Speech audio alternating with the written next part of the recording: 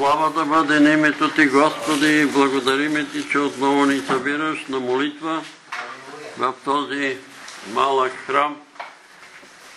Благодариме Ти, че ни опази живи и здрави. Благодариме Ти, Господи. Благодариме Ти, че имаме тая възможност да се събираме. Да, Господи. Благодариме Ти за всичко, за храната, за облеклото, за въздуха, за снега, за всичко Ти благодариме, Господи. Молиме Те да ни опазиш от изкушенията, от съблазните на този свят. Дай ни мъдрост, разбиране. Сега четеме Откровението, Ти предупреждаваш за това, което има да дойде и то не е много хубаво за целия свят. Но знаеме, че своите Ти ще си ги опазиш. И вярваме, че ще ни опазиш от все, що има да дойде върху тая вселена. Помогни ни да го избегнем и да застанем пред Тебе и да ни разрешиш да седнем на Твоята сватбена трапеза заедно с всички свети. Слава да бъде на името Ти, Господи. Благодариме Ти за семейството на сестра Цеска Дойнова. Всички са добре. Алелуя. Благодариме Ти за семейството на брат Йордан. Всички са добре, оправят се. Молиме Те сега за сестра Цветанка Павлова, на Ники, майка му. Тя е умишлено се я поставили в изкуствена кома. Моля Те, Господи, да си смилиш над нея, да я помилваш, да я развърнеш, да я освободиш от този демон на коронавирус и тя да излезне и тя жива и здрава от пирогов. Мило. Молиме те за сестра Гинка, която се обади преди малко, че е високо кръвно, не може да дойде, но ние знаем, че ти си Бог отблизо и Бог отдалече, там където е от дома, докосни я, благослови я, помилвай я, нормализирай кръвното и ако има други проблеми и ако има неща, които тя трябва да изповяда, да остави, Господи, тя желае да се поправи, да бъде жива и здрава. Също те молиме и за малката бойка. Тя е настинала, за съжаление, тия лъже пророци, които са и говорили, че ако тя идва при Петър Велев, непременно ще умре, защото от тия, които са при Петър Велев, имат икони и те са идолопоклонници. Господи, моля те на тия човеци да им отвориш ума, да им отвориш очите. Те сигурно виждат събранията ни там на Сточна гара и иконата на Господ Исус Христос. Лика на Господ Исус Христос и ни го наричат идол. Вразуми ги да не погинат, Господи. А Бойка и дай смелост и дързост да им отговаря. Няма да умра, но ще живея и ще разказвам делата Господни. Молиме те, Господи, ако срещу брат Гергин се прави нещо, некви нечестивци, магиосници, защото той усеща некви нападения, всички клетви, заклинания, магии, прокоби да се върнат на главите на Господи. Неговия дом да бъде очистен. Той да бъде очистен, да бъде и царен. И брат му да бъде съвършено и царен. Господи, помилвай ни, благослови ни, благослови домовете ни, опази и домовете ни. Молиме те, Господи, за страната ни, за България. Хората се паникосват сега от тия ноти на руснаците. Ние вярваме, че ти си определил границата на народите, уния, които се бъркат, бъркат се в Твоите наредби и затова знаем, че Ти ще ни защитиш и ще ни опазиш, както до сега си ни опазил. Молиме Те, Господи, да вразумиш нашите управници, да не залетат на една или на друга страна, но да им дадеш спокойствие, мир, да бъдат разбрани, единни, да не, вземат, да не се карат и да не взимат една или друга страна, но да знаят, че са преди всичко християни, а после българи. Слава да бъде на името Ти и затова те молиме да опазиш и града ни и страната ни от природни бедствия, от урагани, от катастрофални земетресения и други бедствия. И отново те молиме за добро време, такова каквато е Твоята воля, но не допускай такива бедствия, които чуваме по, по света, минус 50 градуса, минус 40 градуса. Господи, смили се и над сиромаси, а и над нормални, па и над богати. Смили се над всички Твои люди, над всички християни. Благослови всички християни в България, православни, католици, евангелски християни, да има мир и разбирателство, да има любов между всички брати и сестри. Слава да бъде на името Ти, помилвай ни, прости греховете ни, очисти от всяка неправда.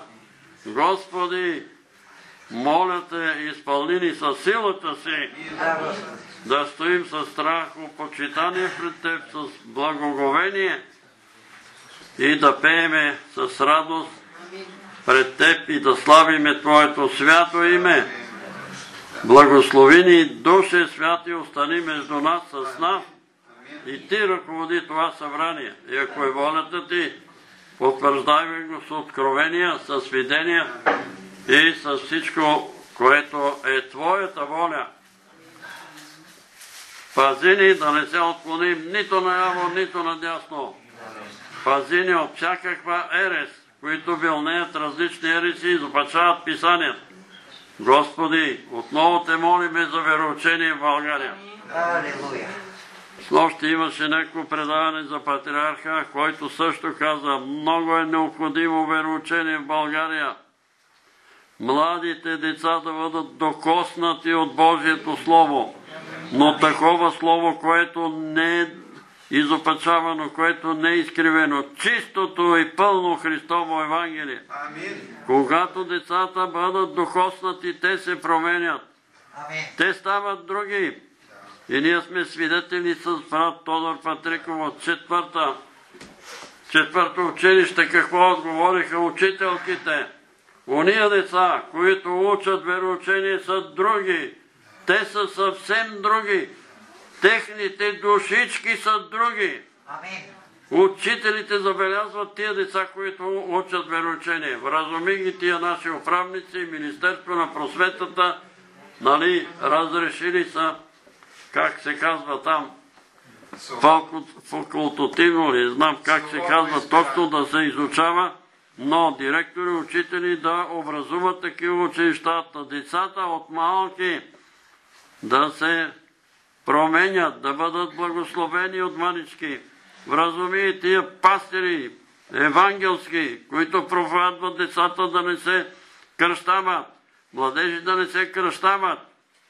Господи, вразуми ги, изобличи ги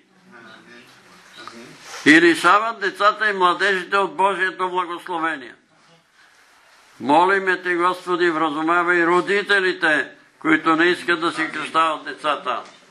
Господи. Предупреждавай ги, слава да бъде името Ти. Бъди сега между нас, Душе Святи, Алилуя. изпълвай ни със силата си, лекувай ни, утешавай ни, насърчавай ни, спасявай ни, слава да бъде името Ти. Поклон на святото Ти име, Свята Тройца, един Бог в три лица. Слава, чест и поклон на името Ти. Амин.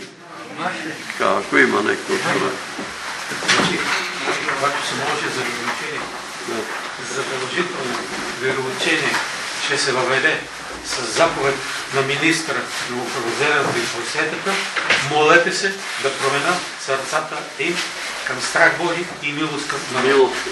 Добре. Това казвам, защото с нощи гледах един филм за патриарха и той, между другото, каза, а, значи може. Ето, по негово настояване в Русе има добре дошли. Заповядайте, юнаци, да виждаме млади хора между нас. По негово настояване, по негово, нали, така, в две училища са въведени вероучения и показаха ги там, децата се радват и той между другото каза, това е истината. Когато чистото, неподправено Слово Божие, чистото Евангелие докосне децата, те стават други. Те се променят. Разберете го това. Патриарха го говори. Да го чуят тия наши управници. Децата се променят. И тия деца, като го видеха там, радват му се хората, майките благодарят за тия две училища в Русе, които учат вероучение. Но явно е, че зависи от самите директори, от училището, там от, От общината. от общината, в някакво пък село казаха там самата община са решили, нали, на сметките там на, на общината ще плаща на такъв учител, нали, да има вероучение и хората също ги показаха, че са благодарни родителите, децата им се променят. Децата се променят. Защо? Ами щелто те са душички, те са Божии душички тия деца. Казвай пак. За Гинка един пилот от Формула 1 кара болид от Формула 1. Не с много голяма Нещо скорост, се кара тя, много приказва сигурно. И оттам дига кръвното. Ако се кара с нахата, За тези хора, които заблуждават Бойка, виждам Батман. Човека Батман. Батман я съветва. Аз се радвам, когато говорят Петър Велев ви заблуждава там, там има икони, това са идоли. Не знам, Еми тя до кога няма да може да различава истината? Ама тя не, е, тя не е пък а, от вчера повярвала. Бойка вярва от 50 години. Може тя на 50, значи най-малко от 3-40 години вярва Бога. Тя не може да разбере това. Ако и аз си казах, никого, тук никого не сме вързали, нито го искаме да бъде, да настояваме. Тук, само тук ще. Отивай където искаш, но търси Господ. Търси Господ и не се плашите от тия икони или картини или какво се плашите от те. Това било и идоли. Така ли? Идоли ли? Как ще са идоли? Идол е нещо, което измества Бога.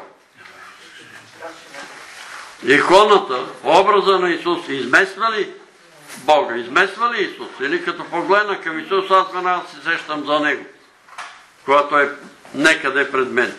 Или ми е на колата, отпред при огледало, при таклото и погледна на Исус или погледна на кого, за кого се сещам?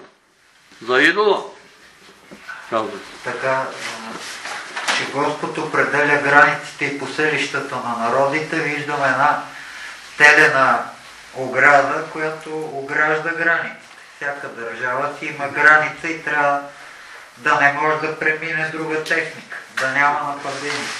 Господ ги е определил. На времето слушах един журналист, който е бил журналист преди 9 септември.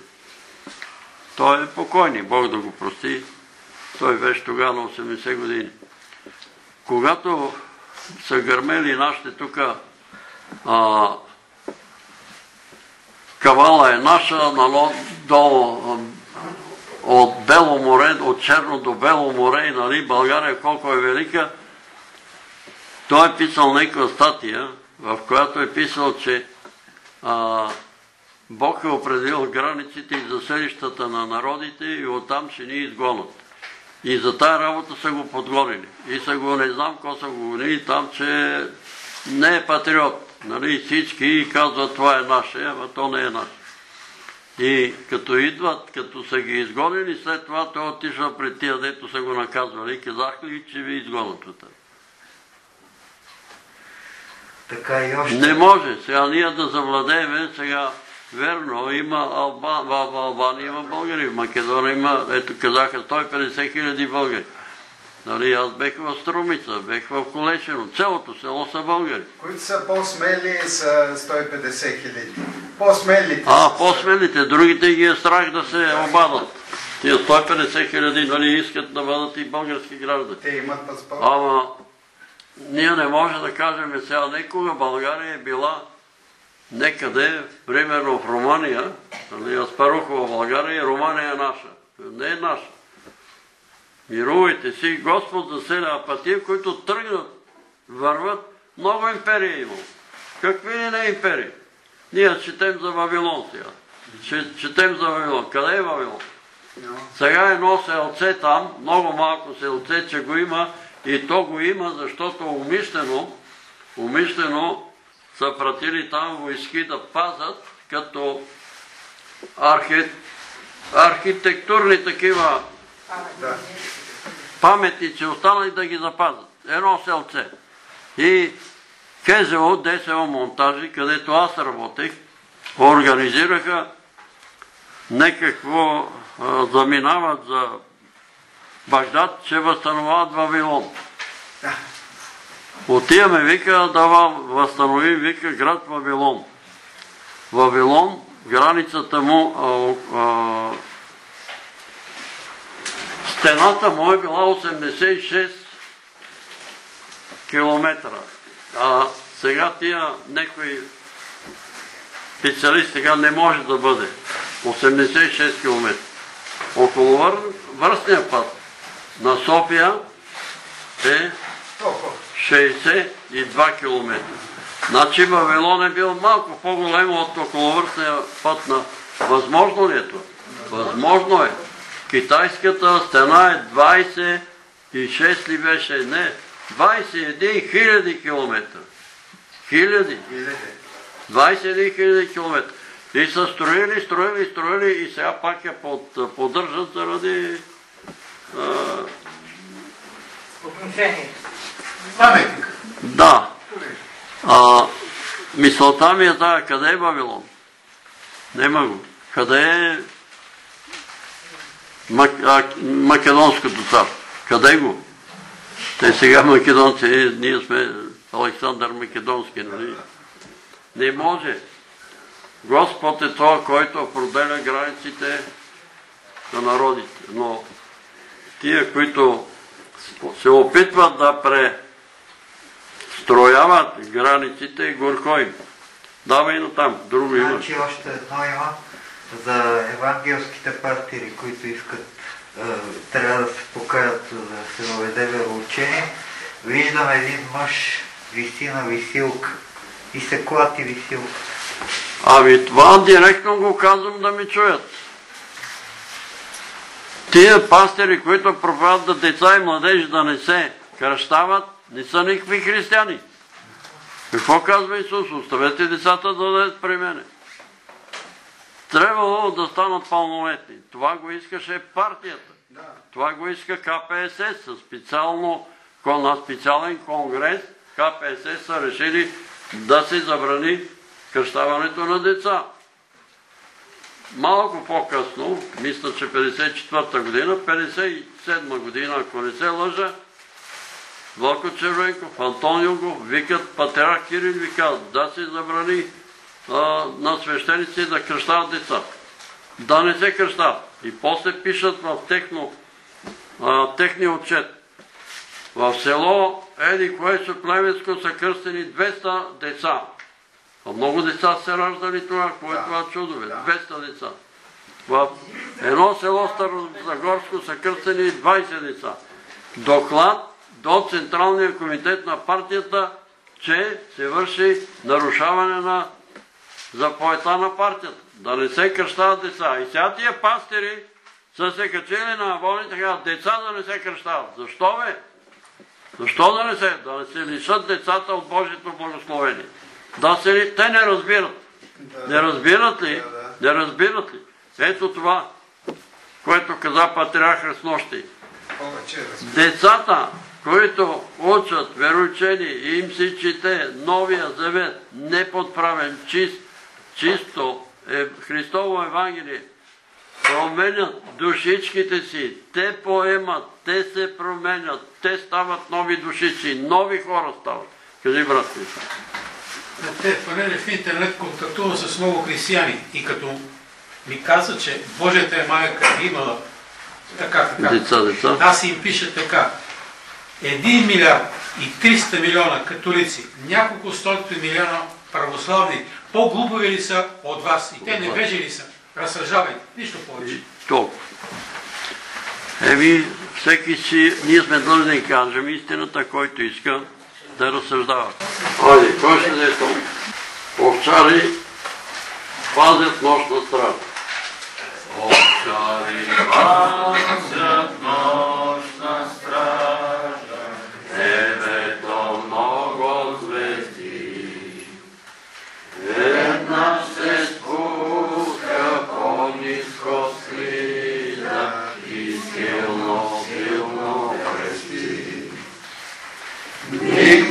И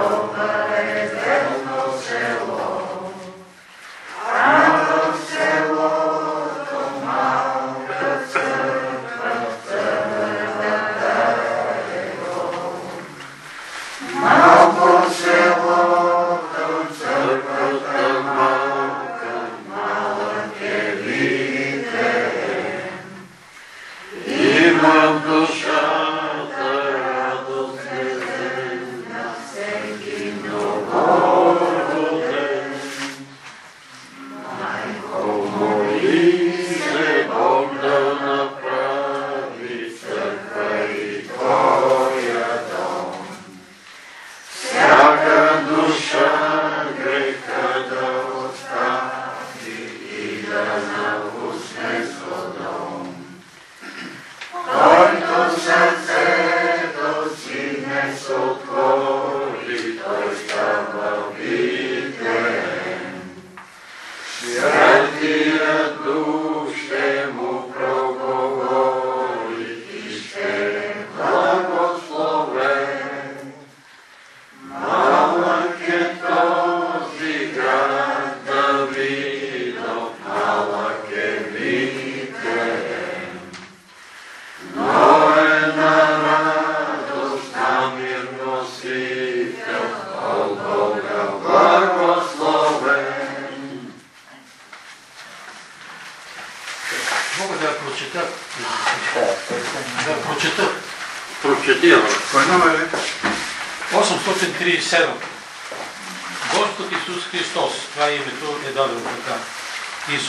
Христос е Твоето име. И Бог, Отец ти е баща. А Дева Мария Тебе е родила, за да изпасиш ти от греха. Не искам тук без Тебе да живея. На кръста Ти плати за мен. За любовта Ти тук аз ще пея и ще се радвам всеки ден. Възлюби ме и даде ми надежда, по пътя с Тебе да вървя. Живота ми безутлично подреждаш и водиш ме към вечността. Амин. 837. Само.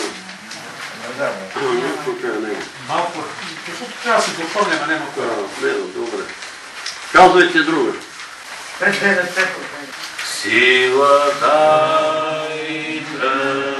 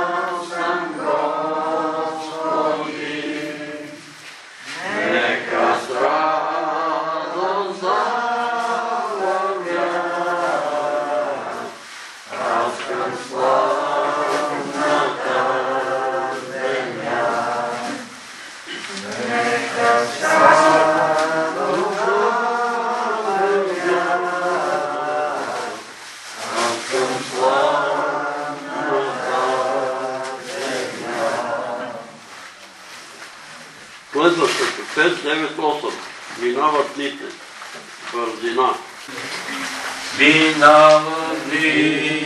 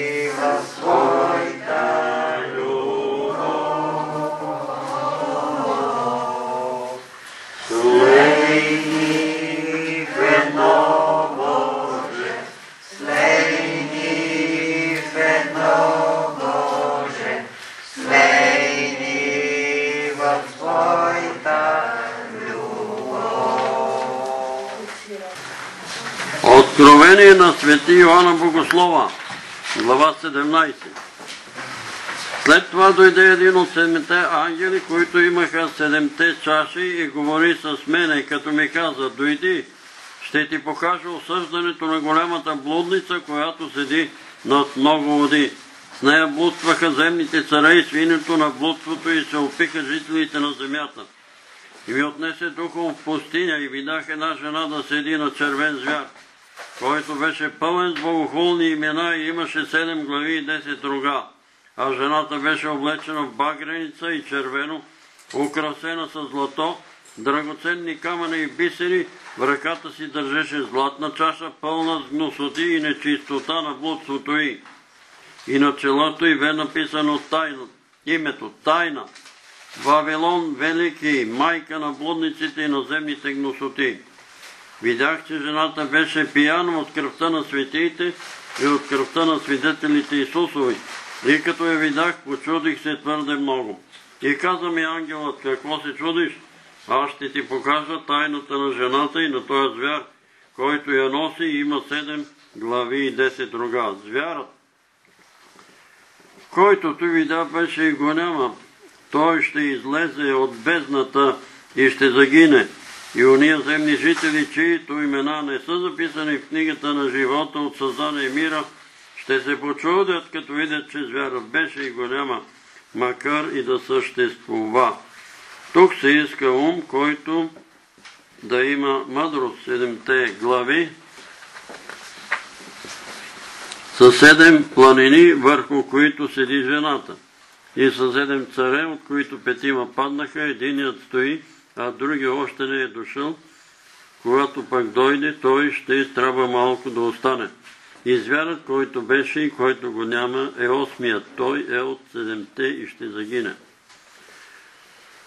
А седемте рога, що вида, са десет царе. А десетте рога, що вида, са десет царе, които още не са получили царство, но като царе ще получат вас само за един час заедно с звяра. Те имат една мисъл и ще предат своята сила и власт на звяра. И те ще воюват против Агница и Агница ще ги поведи, защото той е господар на господарите и цар на царете. И ония, които са с него, са звани избрани и верни. И казва ми, водите, които видя, дето седи блудницата, са народи и тълпи, племена и езици, а десете рога, що видя, на звяра, те ще намразят блудницата, ще я направят пуста и гола, плата и ще изядат и сама нея на огън ще изгорят, защото Бог им тури на сърце да изпълнят волята му, да се сговорят и да дадат царството си на звяра, докле се изпълни думите Божии. И жената, която ти вида, е големият град, който царува над земните царе. Амин. Жената е големият град, Вавилон. През различните периоди на християнството този град е бил различен. Началото се е читало, че това е действително Вавилон, който Вавилон около 500-та година е съсипан, окончателно е разрушен, но по-късно първите християни вярват, че това е Рим, който е царувал над тогавашния свят. По-късно пък считат, че този град е, който царува, може да е Берлин или Нью Йорк или Москва или някой друг град, на който управлява целият свят. Такъв град до сега няма, но има неща, по които ние може да се сетиме, нали, къде царува Вавилон. Така, от интернет съм извадил тук някои неща, а, които пише за Вавилон. Името Вавилон произлиза от акадската дума Бабилон и означава Божия врата. Обаче тази форма е още от акаците или вавилонците, неправилно разбирана и произхожда вероятно от една по-стара дума, която днес не се разбира и вероятно е била Бабилум. Бабилум. В по-късно време се е погърчило акадското име Бабилон, през което се образува днешното му Вавилон. Евреите са го обвързали с пренебрежителното техно Балал, което на техен език означава объркан. За първи път името Вавилон се споменава през 3000-та година преди новата ера. Около 2020 година преди новата ера Вавилон бил известен като храмово място и е принадлежал през 21 век преди Христа към близкия град Ур. Нали знаете кой е излезнал от Ур? Авраам, Ур Халдейски. При царуването на великия Хамурани, Хамурапи, градът придобил водеща роля в Стария Орен, той завладял почти цяла Месопотамия и е познат преди всичко като Кодекс Хамурани, един от първите подробни сборници с закони. Там са издадени за първ път закони в Авелон. Нали толкова години преди Христа. През 1595 година, преди новата ера, Вавилон бил превзет от хетите, като кратко време след това попада под владението на касетите около 1150 година преди новата ера. Касетите направили града държава Вавилон, столицата на Вавилония. Вероятно градът става религиозен център на царството през 12 век преди новата ера, когато Мардук се издига до върховен бог на Месопотамския пантеон. През 1158 година преди новата ера до към края на 8 век преди новата ера Вавилон е владян от различни династии, когато попада под влиянието на Асирия. При управлението на царете на ново Вавилонското царство, което било основано от Набопал Ласар 605 година, 562 година преди новата ера, халдейската династия достига своя разцвет чието апогей бил по времето на сина му Набуходоносор II.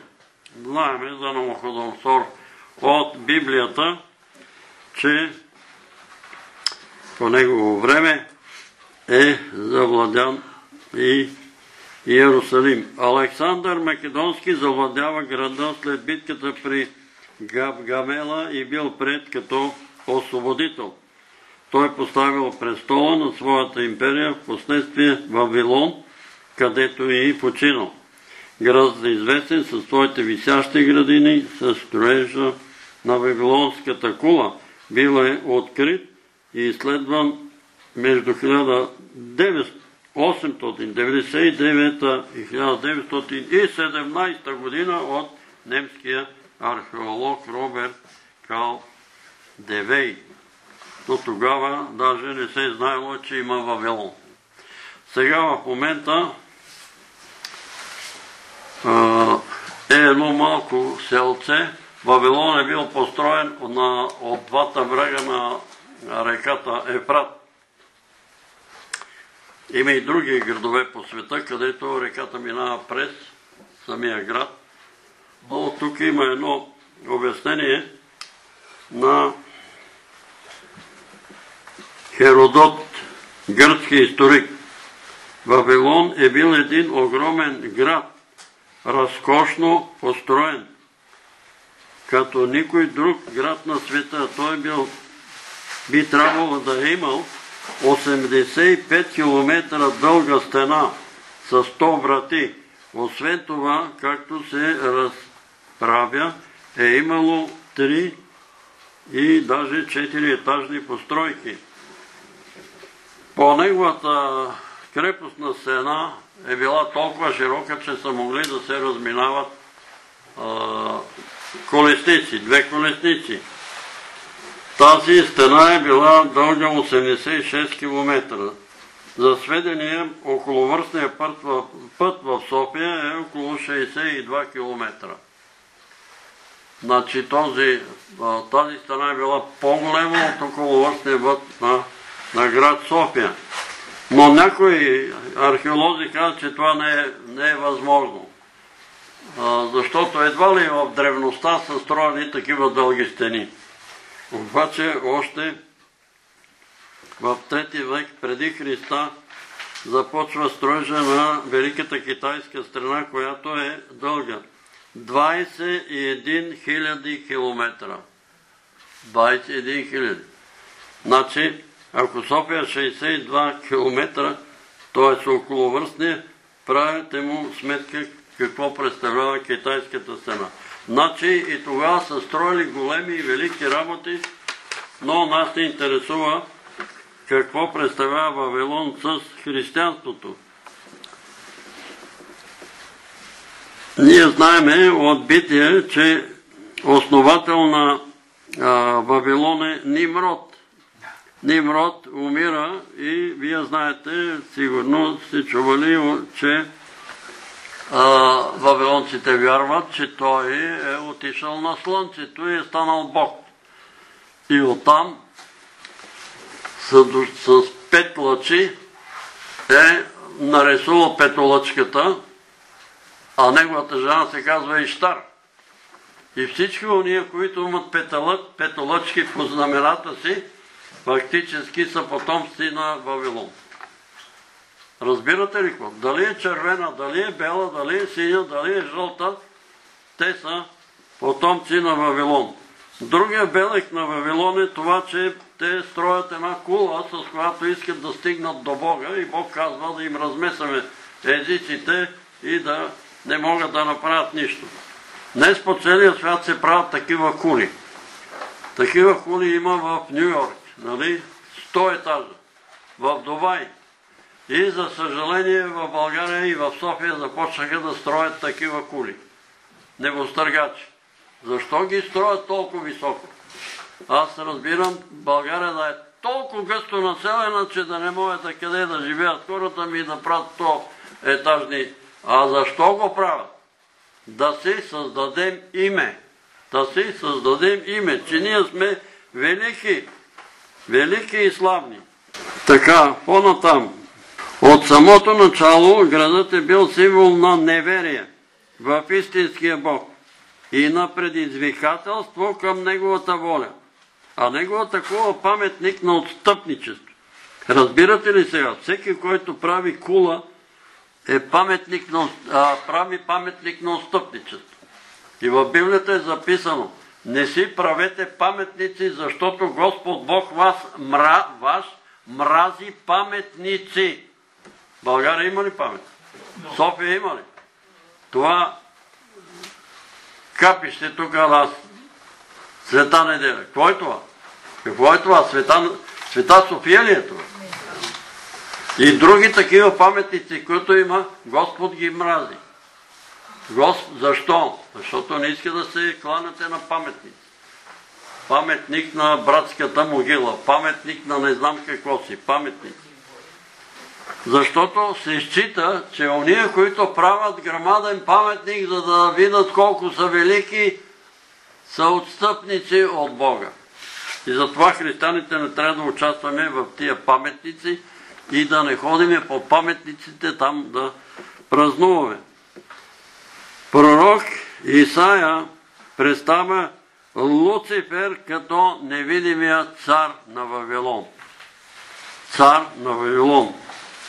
Пише го в книгата на пророк Исаия 14 глава 4 стих. Основателите на Вавилон имали за цел да установят едно управление, което да бъде напълно независимо от Бога. Има ли такива управления по света, които искат да бъдат абсолютно независими от Бога? Не признават никакъв Бог. Има ли ги? Ама има ги. Ето това е Вавилон. А не е Рим. Нито е Берлин. Нито е Ярусалим. Нито е Москва, нито е Нью-Йорк. Но те всичките държат този дух. Нали? Ако строят, за да бъдат абсолютно независими от Бога, ние не сме зависими от Бога, ние ще построим рай на земята.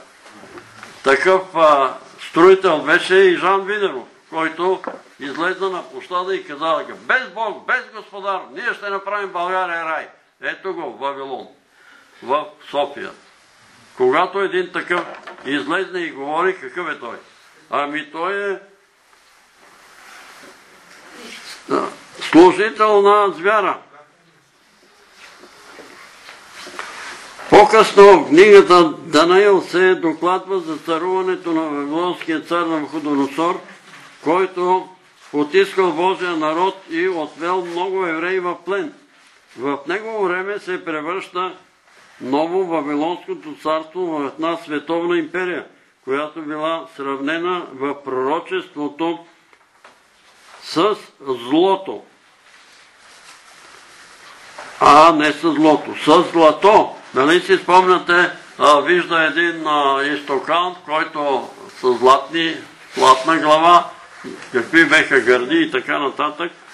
Фактически от нея започва надолу тия всички империи, фактически са империи на злото. И по този начин по-високо оценено от следващите царства след Вавилон. Очевидно към края на първи век, след Христа, християните вече считат, че Вавилон е Римската империя. И с това загадъчно име Вавилон в първо Петрово 5.13. По това време величественият някога град Вавилон лежал почти, ако не и напълно в развалини. Доколкото си спомням, чел съм некъде, че Мохамед го съсипа напълно и го унищожава напълно. Мохамед, армията на Мохамед го съсипа около 500-та година, некъде там беше. И по този начин една нагледна иллюстрация за това, че Вавилон лежи в пустината в раздавелини, там е писано, нали, Бог казва, че никога няма да бъде възстановен Вавилон. Никога няма да бъде възстановен. И затова ви казвам, че от КЗО нашите, моите началници направиха някаква проект и заминаха за Вавилон да го възстановяват. Аз им казах, няма да го възстановим. И защо? Защото пише Библията. Вавилон никога няма да бъде възстановен. Ха-ха-ха! Бай Пешо говори глупости. Писало Библията. Абе, чуваше ви, ние отиваме в Вавилон, Вавилон ще бъде възстановен. Абе, слушайте какво ви казвам, Библията пише. Проклете Вавилон и никога няма да бъде възстановен. Ще видиш. Заминаха и след един месец се прибират и се връщат. Бай Христова, възстановихте ли Вавилон, викаме? Абе, как беше ме да загинем и почна войната, вика там в Ирак, вика, почна да ни обстрелват и ние си замахаме багажи. Ама казах ли ви, че няма да го възстановите? Ма защо? Ама защо да го пише, бе, хора? Пише го Библията, Вавилон няма да бъде възстановен. Такъв какъвто е. И така, християните читат, че това е Рим. Адвентистите читат, че това е папата.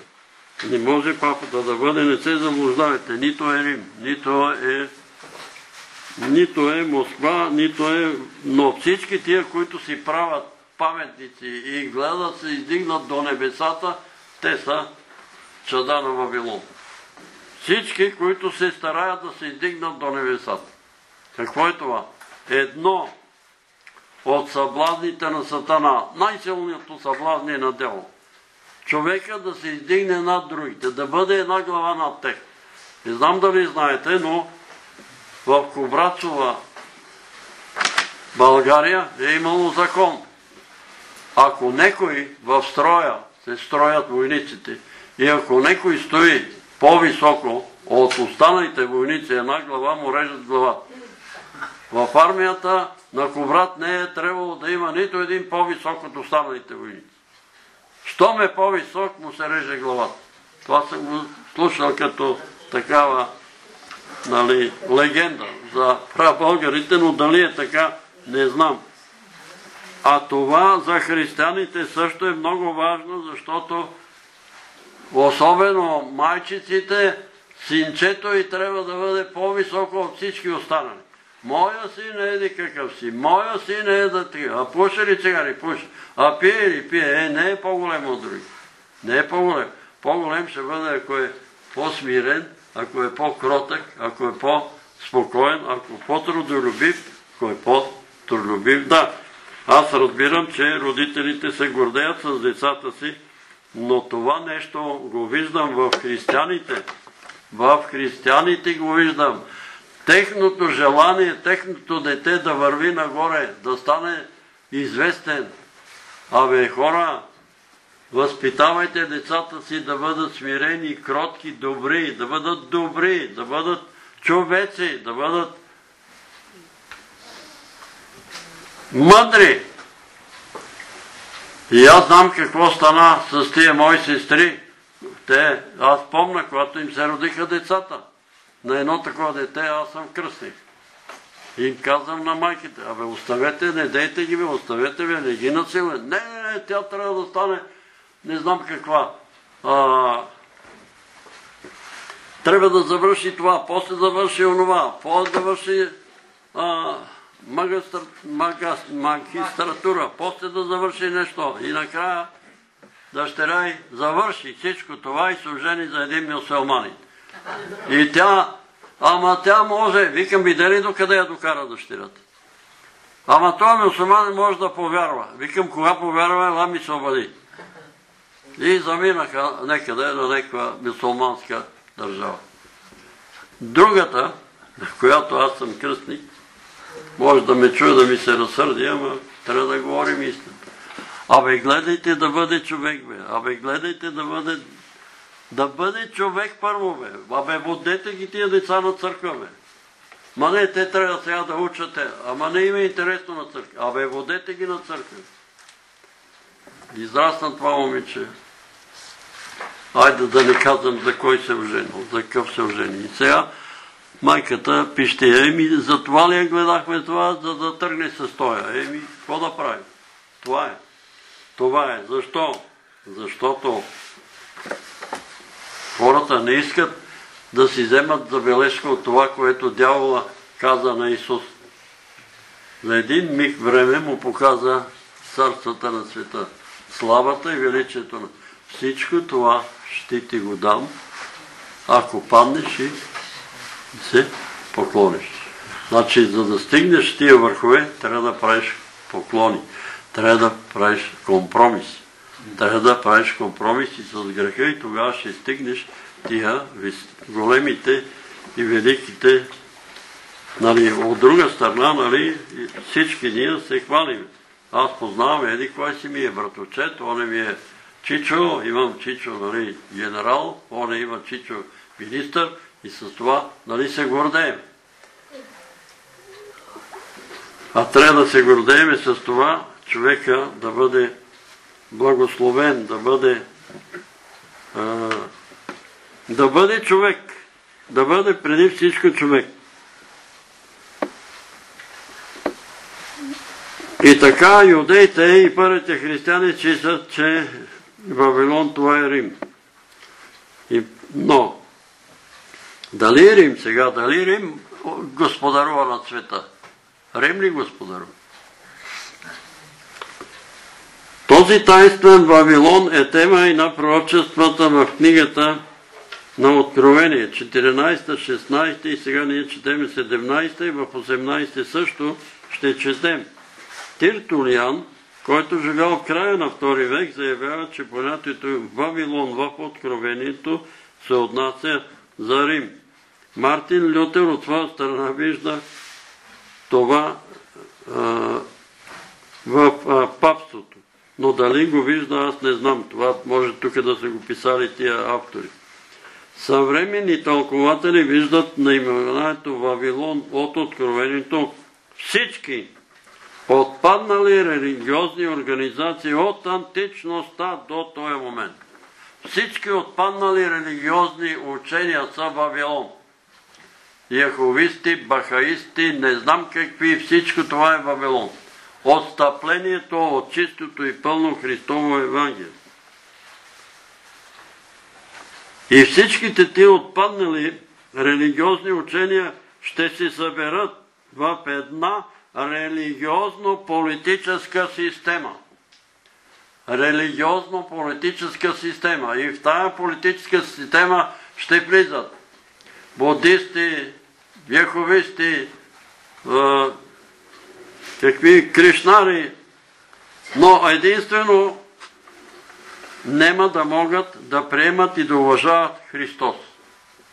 Нема тая система да уважава Христос. Коя е тази система политическа, дето не признава Христос? Признават будисти, признават мюсулмани, признават, но не признават Христос. Ами трябва да се сетите коя е тази система.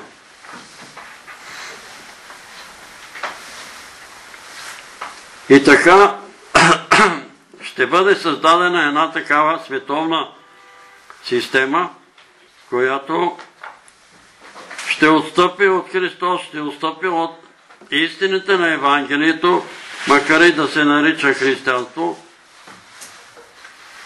А всеко такова отстъпление от чистото и пълно Евангелие е наречено духовно блудстване. И затова ние казваме, ония, които проповядват, че Дева Мария е родила пет дъщери, блудстват. Това е духовно блудство.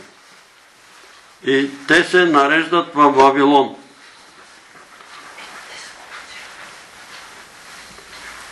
Също така, незаконната връзка между църквата и държавата също се счита когато държавата налага, волята си на църквата, това също е духовно блудство. Църквата не трябва да се покорява на, на държавния глава, как да вярва, какво да вярва, какво да проповядва. Вие знаете какво налагаха предишните властници. Припомням ви само този конгрес на БКП 57 година, в който той конгрес, Вълко Червенков и Антон Юго викат патрах Кирил и му заповядат. Да не се кръщават деца, да не се венчават младежи. Какво е това? И когато църквата се съгласи и казва, няма да кръщаваме деца, няма да венчаваме, какво правят пастирите? И блудстват. Те са вътре в Вавилон вече. Ония пастири, които казват, няма да кръщаваме, няма да венчаваме, те са вътре в Вавилон. И той Вавилон в крайна сметка ще бъде съсипан. А как ще бъде съсипан, ние знаеме от Откровението. Вавилон, освен това, се чита и като начин на мислене, начин на живот, начин, нали, и ние трябва да бъдем внимателни, да не би със своята философия да бъдем този свят да ни замотае и да ни въведе в Вавилон. Какво прави Вавилон? Слава, величие, без Бога, богатства, злато. Главата на Навуходоносор е златна. Вавилон е златен. Златният телец управлява нали, Вселената. Може би некои читат, че и тая Световна банка за развитие е центъра на Вавилон. Но ние не можем да отбегнем и това, че в къде беше? Не в Страсбург, а в Бруксел ли е тая Вавилонската кула? И тая е Вавилонската кула. Те си я строят и се хвалят, че те ще построят Вавилони, че стигнат небето. И са я построили в Бруксел.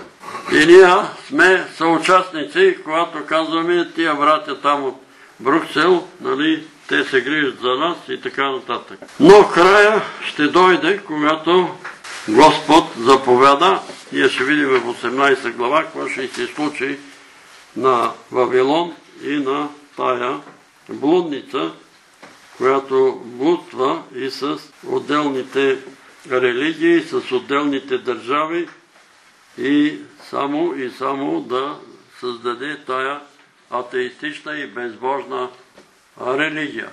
Атеистична, безбожна религия, в която Бог ще бъде президента на тая Вавилонска република. Тая Вавилонска република ще стане, ще дойде време, тя ще се изпълни и този президент се казва личността Антихрист.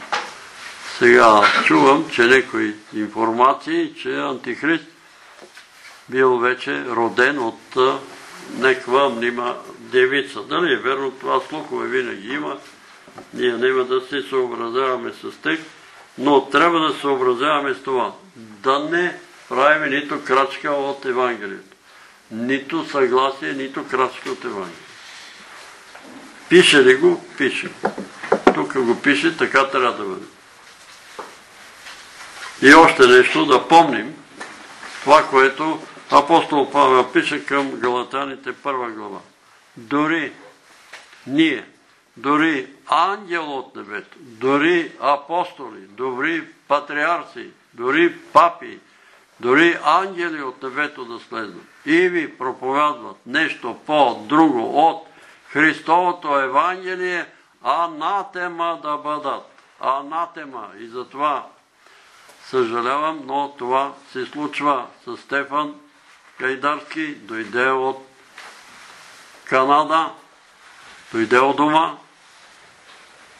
Брат Петре, предлага ми оферта човека.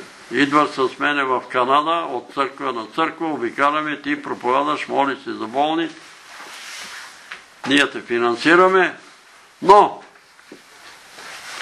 имаме едно условие. Да говориш против католиците. Ето го условието.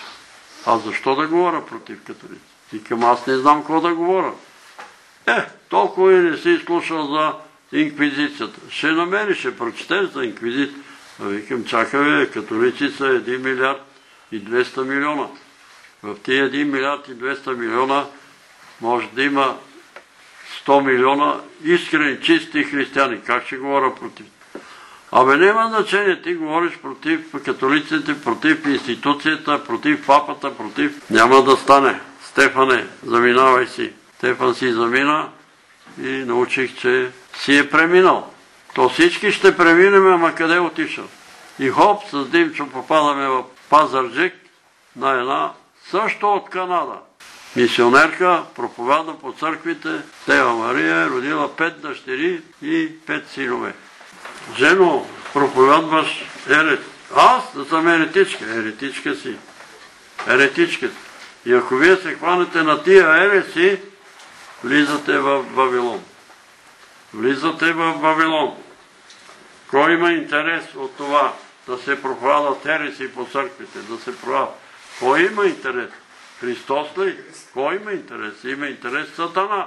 Антихриста. Християните едни и други да се караме, да се препираме и той да си върши неговата работа. Затова пяхме слейни в едно Боже. Слейни в едно с всички християни. Ние всички сме различни, не може да бъдем еднакви. Не може да бъдем еднакви. В една градина няма само лалета. Има и зюмбюли, има и кукичета, има и други цветя. Различни, но нека да бъдем цвете в градината на Господ, нали, а не да бъдем трън и водил, защото преди да дойде пандемията, аз сънувах сън, започва очистване на земята от търните, бодилите и плевелите. Започва. Започва очистване на земята от търните, бодилите и плевелите. Масово унищожение. Кое? Масово А, унищожение. масово унищожение на търните, бодилите и плевелите. Започва. Земята ще стане пустиня. Затова, кухича сме в църквата или сме трън? Или сме трън? Да обърнем внимание на себе. И така може много да се говори. Хората пишат дебели книги. Това е Папа Йоан II, това е еди кой си антихриста, не знам кой си и всичко това са лъжи. Не ги вярвайте, отвърляйте ги, защото сме говорили и друг път. Кой е антихрист? Папата ли или Акджа, който стреля по папа? Кой от двамата е антихрист? Папата стрелял ли е по некого? Убил ли? ли? Освен това, това запомнете, когато чуете да се говори за антихрист. А антихрист няма да приема абсолютно никакъв Бог, никаква религия, никакво божество, никакво. Защо? Защото той считат, че той е Бог. Той е Бог. Има много будисти или там кришнарели, които се прераждат а колко беше? 7770 пъти, като се преродат, вече стават богове. Нали, вече стават богове.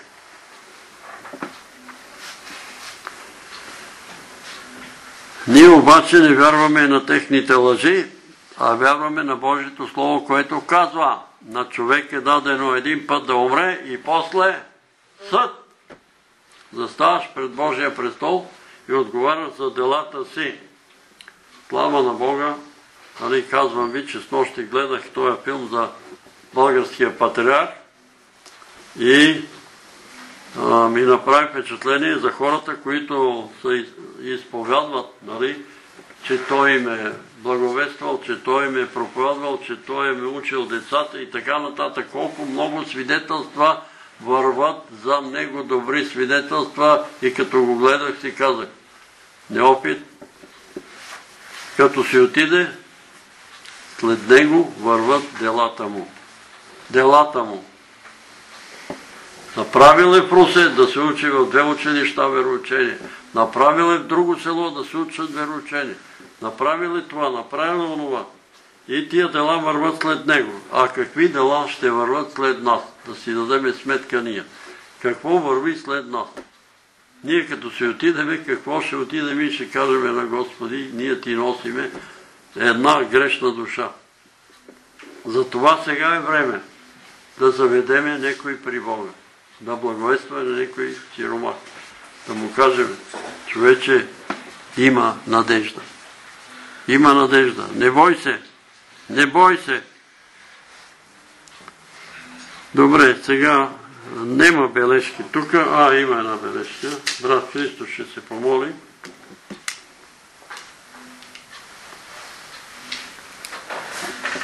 Братра и сестри, да се помолиме за Катя, която е с COVID В медицинска ВМА, Висша медицинска академия.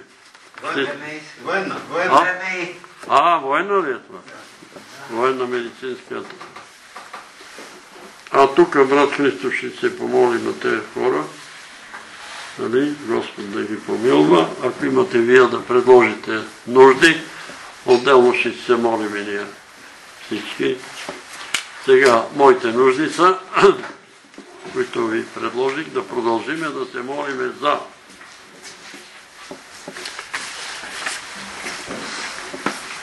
сестра Цецка Дойнова и целия и дом. Всички са от COVID, но са добре. Възстановяват се, слава на Бога, но за пълно възстановяват. Брат Йордан, всички са от COVID, нали, съпругата, двете му дъщери, но всички също са добре. Да се молиме за пълното им защита и възстановяват. За Цецка Павлова, която не е добре. Цецка е в принудителна кома. Медицинска. Моля? Сигурно е медицинска кома. А, Ники ми се обади преди малко, че отива, защото а, искат кръв да й прелеят. Той да даде кръв, за да й прелеят кръв, защото се съсирвала кръвта й. Сега не разбирам от медицина, но ако се е натъпкали с разни лекарства там, не знам защо се съсирва кръвта и може да си има някакво друго заболяване. И не знаеме. Дали лекарите разбират и знаят. Да се молиме да спре това съсирване, цеска да се възстанови, да се върне при них. Така, има още една бележка. Да се помолиме за Павлина е с Исул. Благодаря ви. Сестра Павлина е получила инсулт, да се молиме за нейното изцерение. Не знам, сестра. От тук, от София. Павлина от София. Сега искам друго да ви кажа.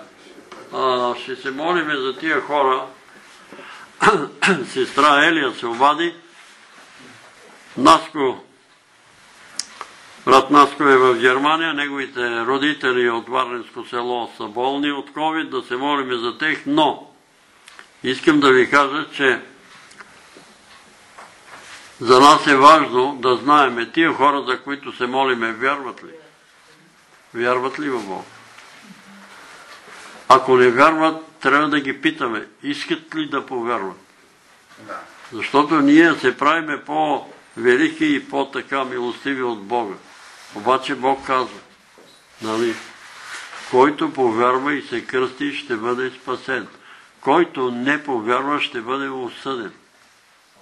Който не повярва, ще бъде осъден. Който вярва в Сина, има вечен живот. Който не вярва в Сина, вече е осъден. Вече е осъден. И сега той, който вече е осъден, ние Господи изцели го. Нема да стане. И сега брат Антонио казва, ами брат Илия Миланов каза, че Бог изцелява и не вярваше. Искам да ви кажа, че това, какво е казал брат Илия Миланов, не знам. Нали, не съм го чул. Но аз съм свидетел на това, което ви казвам. Брат Павел Игнатов го викат в горницата в Христо Ботев и казват, брат Павле, един човек умира от рак. Моля ти се, дойди и положи ръка върху него. Неква там ромка имала откровение, че ако брат Павел се помоли, този човек ще бъде изцелен. И аз вика, отивам, носят го в една черга, аз положих ръца върху него и вика, като ме удари тук в ръката и като ми почернеха тук пръстите и ме откараха в пирогов. И аз се моля и казвам, Господи, ма нали ти казваш да се молиме за болни. Ма те питали го този човек, вярва ли или не вярва. Ама ще ми ударят пръстите, ама може и ръката да ти ударят. Това са думи на брат Павел. Питай го, това вярва ли или не вярва. И като каже не вярвам, питай го, искаш ли да правя? Не искам да правя. Не полагай ръце. Също се случи и с мене.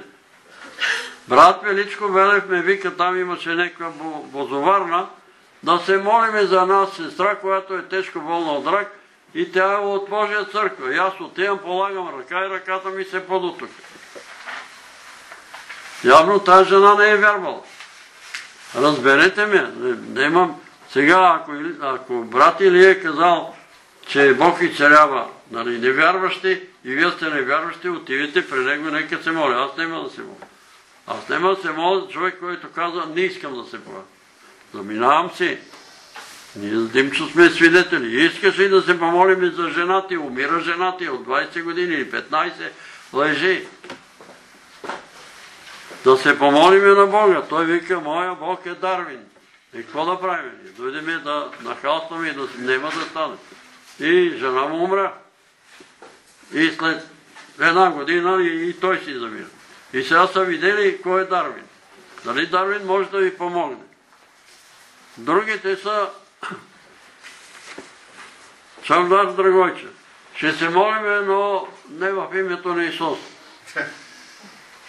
В името на Бахай. Викам, аз в името на Бахай няма да се моля. Бахай не ме интересува.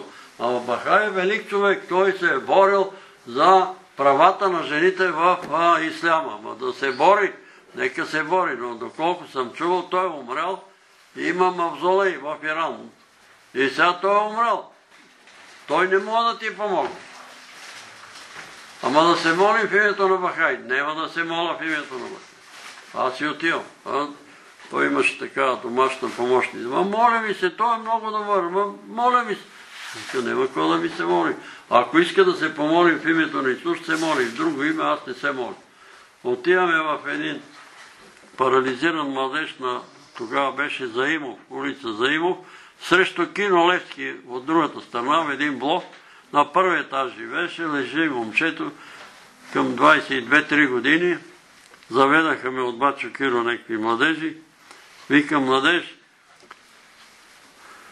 искаш ли да се молиме на Бога за Твоето изцеление?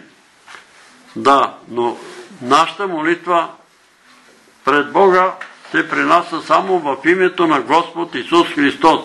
Ти вярваш ли, че Исус Христос е Син Божий? Не, не вярвам. Искаш ли да вярваш? Не, не искам.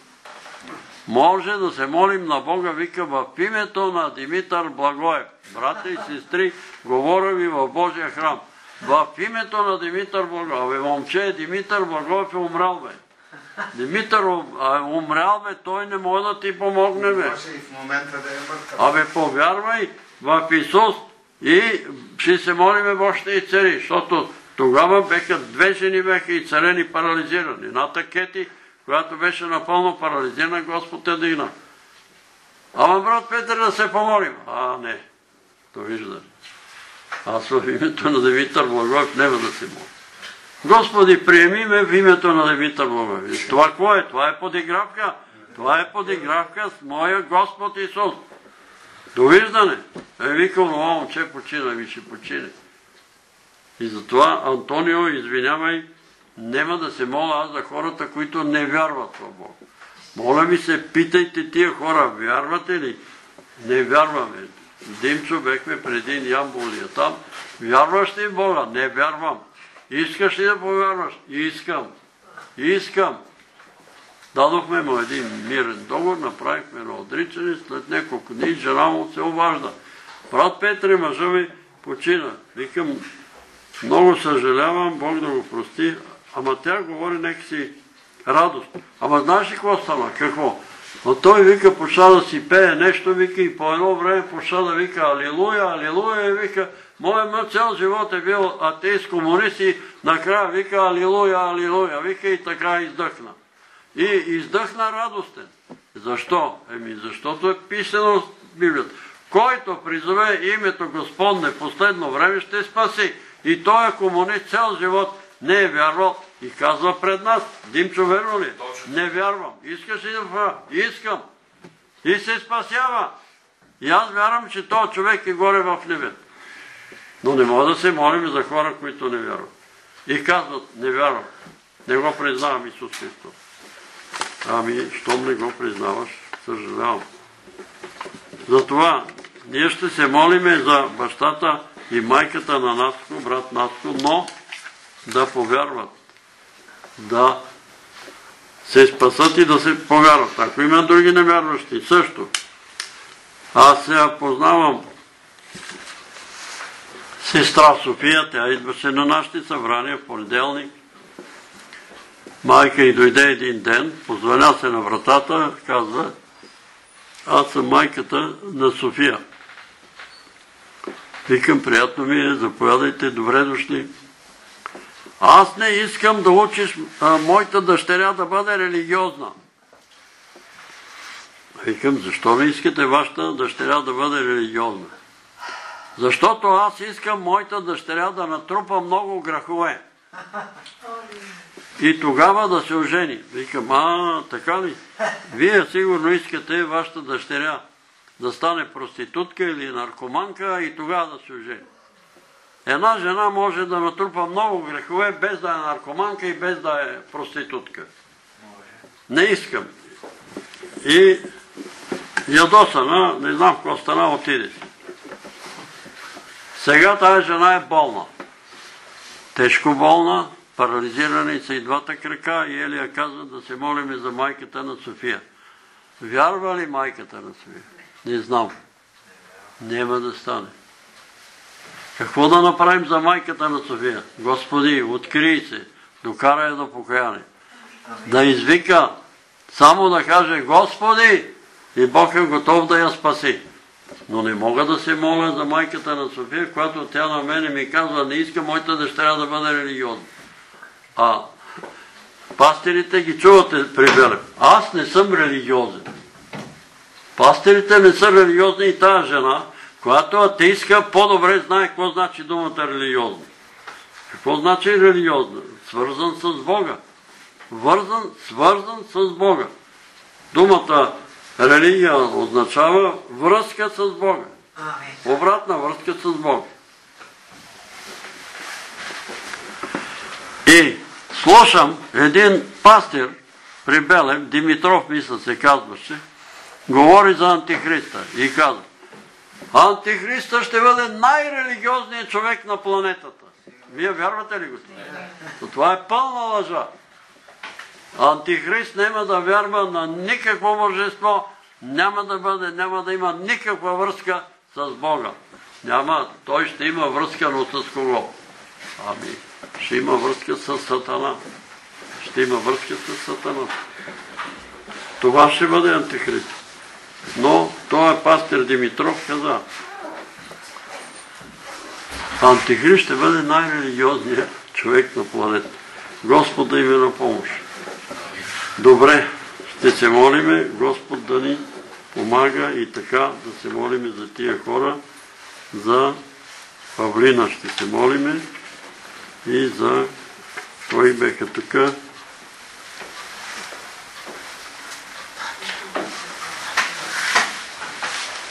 Да се молим за Божия план за България и за Израел. За за Александър установяване и вземане на изпитите си. Бог да благослови Александър да си вземе изпитите, Господ да му даде силна памет, спокойствие, мир. Молихме се за един една сестра, която беше тук от тая църква, нейния защищаваше професура но беше много такъв човек, много притеснителен. Много притеснителен и тя предложи да се молиме. Тогава тук си събирахме, тя дойде, предложи да се молиме. Молиме се за сина ми за професура. И после дойде и каза, като е отишъл там на изпита, казал, майко, не знам какво стана с мене, но никога не съм бил по-спокоен, отколкото на този. Нещо ми стана. И аз станах толкова спокоен и отговарях на въпросите без да се притеснявам. Кой го направи? Бог. Да го направи също с Александър. Да дойде и да свидетелства и да каже изкарах изпитите и благодаря на Бог. Защото Бог като му даде мир и спокойствие, той може и да му напомни някои неща, да му даде памет силна да запомни. И така ще се молим. Има ли други нужди? Не виждам. Добре, да се изправим. Да се помолиме за бременните и за незрящите. Ще се молиме за бременните и за незрящите, Господ да ги защити и да отвори очите на Кирчо, на Теодора и на Мариана, за да се прослави името му.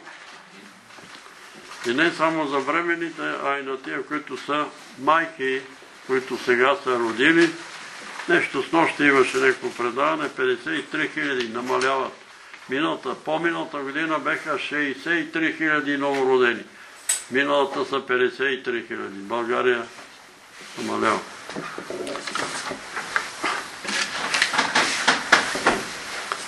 Господи, слава да бъде името Ти, благодариме Ти, че ние грешните човеци имаме тая възможност по всяко време на денонощието да заставаме пред Теб на молитва, пред престола на благодата и да очакваме благословение, да очакваме покаяние и прощение на греховете ни.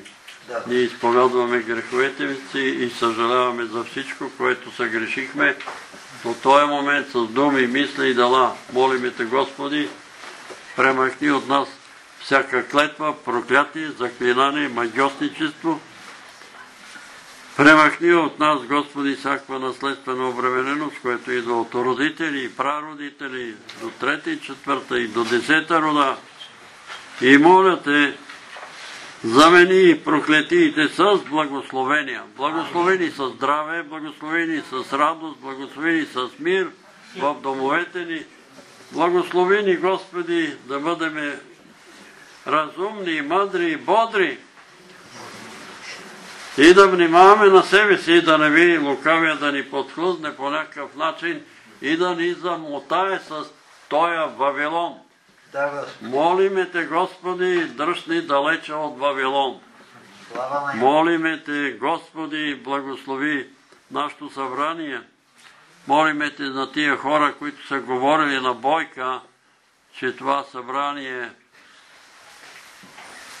е събрание на идолопоклонници и ако тя продължава да идва в това събрание, ще умре, тия хора ги докарай до покаяние.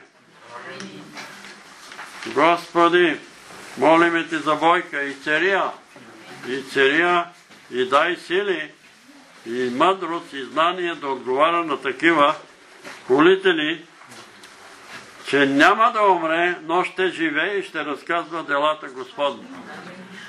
Също те молиме за сестра Цветанка Павлова, която е на принудителна кома в Пирогов.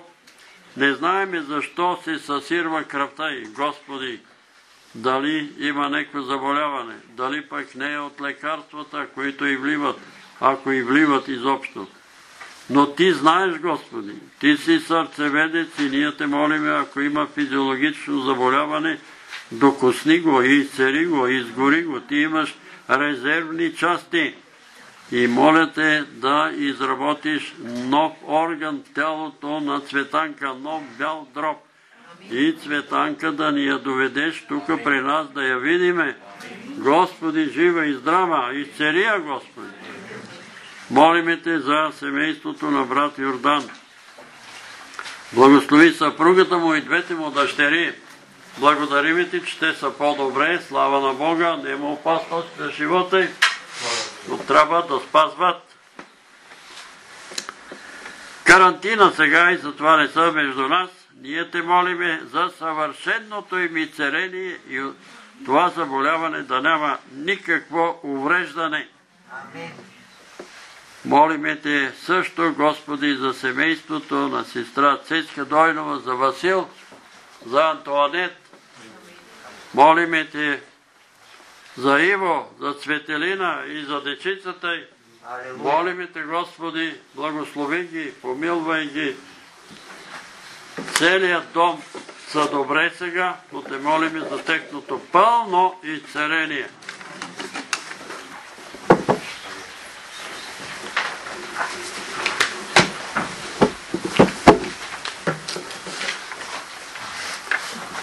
Молиме те за тази жена Павлина, не знаеме наша сестра ли е.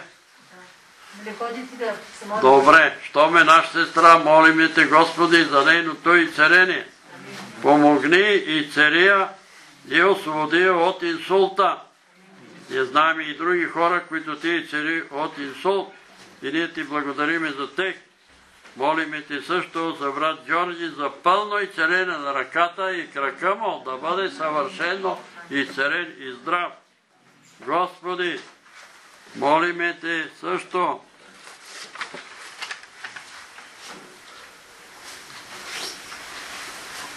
за сестра Катя, която е от COVID в военна медицинска академия.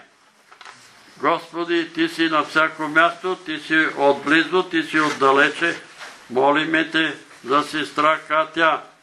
Докосния, благословия, изцелия и възстановия без да има осложнения от това COVID. Сега те молиме за тия наши брати и сестри, Господи, които са ни поръчали да се молиме за тях. Молиме Ти за сестра Емилия и Лора. Помилвай ги, благослови ги и двете, доколкото се знам болни от COVID или са настинали. И цари ги, помилвай ги, благослови ги.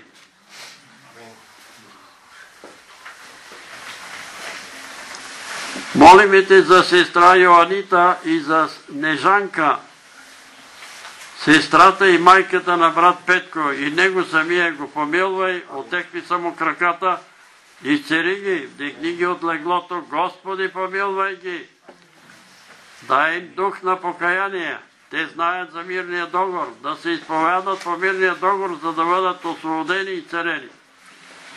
Молиме ти за сестра Цветана от Горна Оряховица, съпругата на брат Сашо и Церия и помилва я. Молиме ти за Екатерина и майка и Диана, които имат здравословни проблеми в Германия. Екатерина се обади по телефона и каза, че са много по-добре. Благодари на църквата, благодари на Бога, благодари, че сме се молили. Сега на нея предстои държавен изпит в Германия. Помогни, Господ, да вземе този държавен изпит и да си поеме пътя в живота, каквото ще работи. Молиме ти за брат Светан, брат Цецо, за пълно възстановяване след този COVID. Молиме ти за сестра Фиданка, изцерия Господи, помилвай я след операцията от херния. Тя е изпаднала в отчаяние, но дай насърчия нея и Милена от Казанлък. Лекарите са ги пратили психиатрията, молят е там да не ги заплетат и да не ги натроват с някакви лекарства. Опази ги и двете, Господи. Амин. Молиме те за Теодора, Мариана и Кирчо, незрящи. Смили се за тях. Ти си мощен и силен да ги цариш, както и цари слепородения. Господи, милост за Теодора и брати Павел. Помилвай ги и цари ги и възстанови ги. Милост, Господи, за брат Георги, за пълно и съвършено и царене от инсулта, за Ралица, Павел, Петя и Теменушка, пази ги и помагай им, а за Петя те молиме, привлечи я към себе си, Господи. Открий се на съд. Милост за Мирослав. Той е на друга болница. Пази го да не го, Господи, увредат. Молиме те за Иван, съпруга на наша сестра. Благодарим ти, че оставил алкохола. Сега те молиме, помогни му да остави и цигарите. Молиме ти за сестра Стоянка, която има силно главоволие. И цария, Господи, и помилва я. Молиме ти за Теменушка, е, има проблем, има депресия и цария. Молиме ти за Норчето, благодариме ти за голямото подобрение на Норчето, на това ли за пълно и царение. Молиме ти за Галя от Холандия. Признаци на рак, съвършено и царение на Галя. Молиме ти за Данаил от Варна. Укрепи здравето, силите му. Молиме ти за Кирил. Благодариме ти, Господи, за това момче, което за една нощ е прочел мирния договор и книгата и царене чрез вяра в Бога и сутринта вече е хвърлял наркотиците, но все още не може да остави цигарите. Помогни му да остави и цигарите. Молиме те за сестра Райна и цари и премахни болките в краката й и болките в кръста и Амин. Молиме те за Венци от Англия. Благодариме, Гос... Благодариме ти, Боже, че си го освободил от демона на хомосексуализъм. Но неговата майка и баща му са против вярата му. И затова ние те молиме, Силвия и Аспарух, да ги притиснеш, да ги докараш до покаяние, да им се откриеш и да видят, че техният син е приел пътя на спасението, а те върват в заблудителен път. Молиме те за Томка от Бургас. Също има здравословни проблеми и проблеми в семейството. Тя благодари на Бога, че ни е открила, че ни слуша винаги и се насърчавала. Благодариме ти и те молиме тия проблеми да бъдат разрешени в здравословното и състояние и в семейството й. Молиме ти за брат Димчо и за всичките му роднини. Пълна победа и пълна защита от магиосници, от антихристи, от лъже брате, лъже христи. Разрушавай клетвите, магиите им и ги връщай на главите на магиосници. Мило за брат Панталей, Теминушка и Христо. Господи, опази Христо от Вавилон. Господи, опази го, защото Вавилон се старае да го смукне и да погуби душата му. Моля ти за пълно и съвършено и царение на страта Минушка. Моля те и за пълно и съвършено и царение на брат Панталей и цари краката му, кръста му.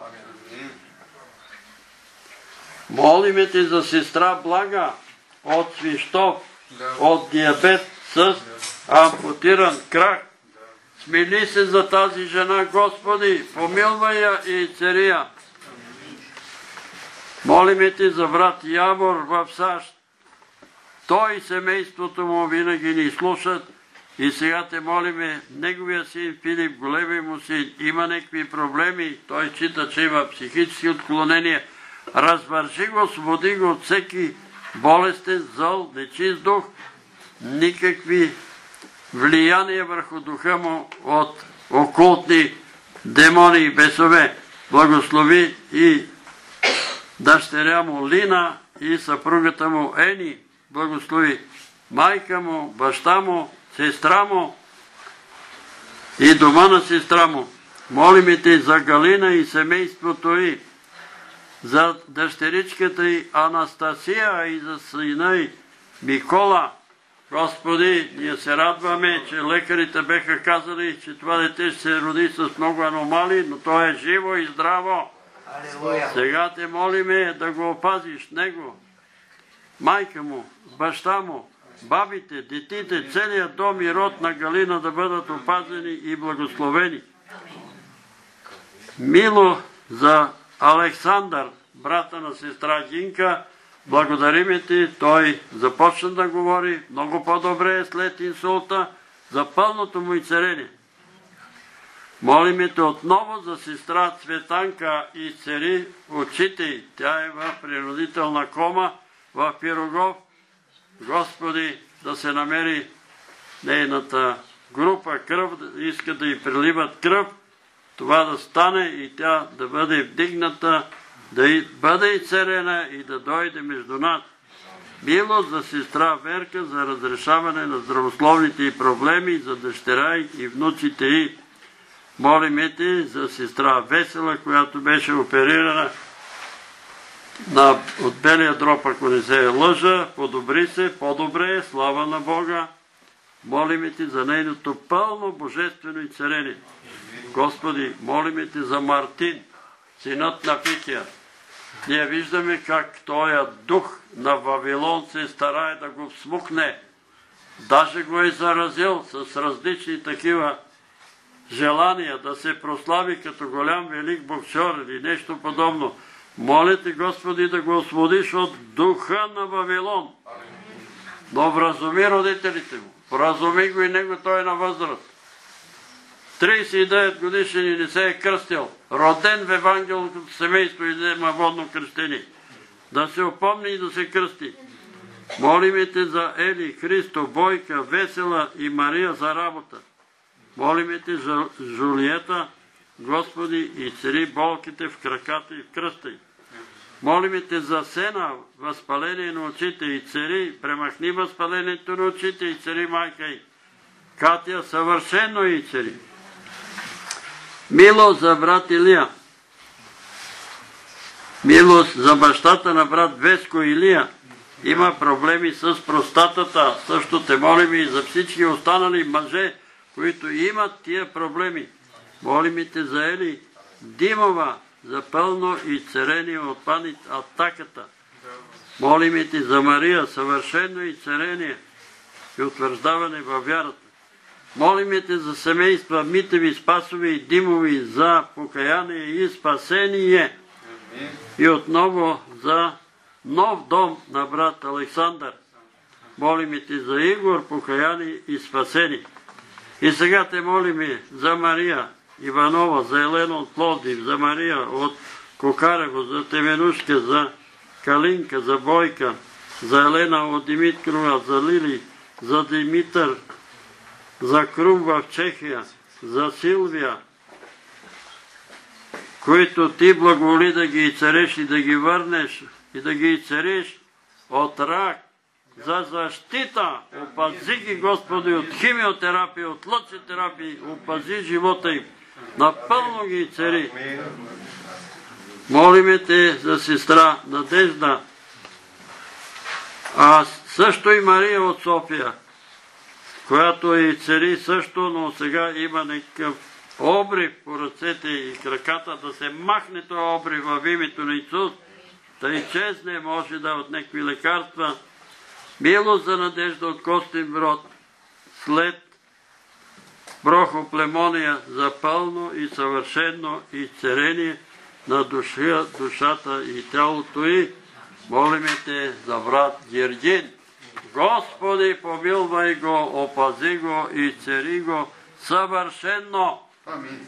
и защити го от клетви, магиосничества и други сатанински дела.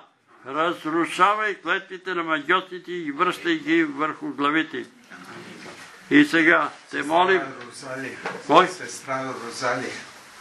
Молиме те за сестра Розалия и за Христина. Помилвай ги, благослови ги, опази ги, Господи. Милост за това момиче освободи от тия бесове, които я атакуват. Мили се, Господи, и помилвай я. За бременните. За бременните. Молиме те за бременните, за които брат Панчо предлага, за всички бремени жени да родат живи и здрави дечица и да няма аборти. Молиме ти сега, чуй молитвата на брат Христо за болните. Господи Исусе Христе, Сине Божи, молиме те за вярващите без отопление. Помилуй, помилост, Господи, дай подходящи природно-климатични условия, този вярващ народ да не мръзне, а в същото време ти има, да има достатъчно хляб, зеленчуци и плодове за сиромасите, предвид на отстъпващата земеделска година. По човешки това е невъзможно, но за Тебе всичко е възможно, Господи. И не по заслуга, по милост, Господи, пак и пак.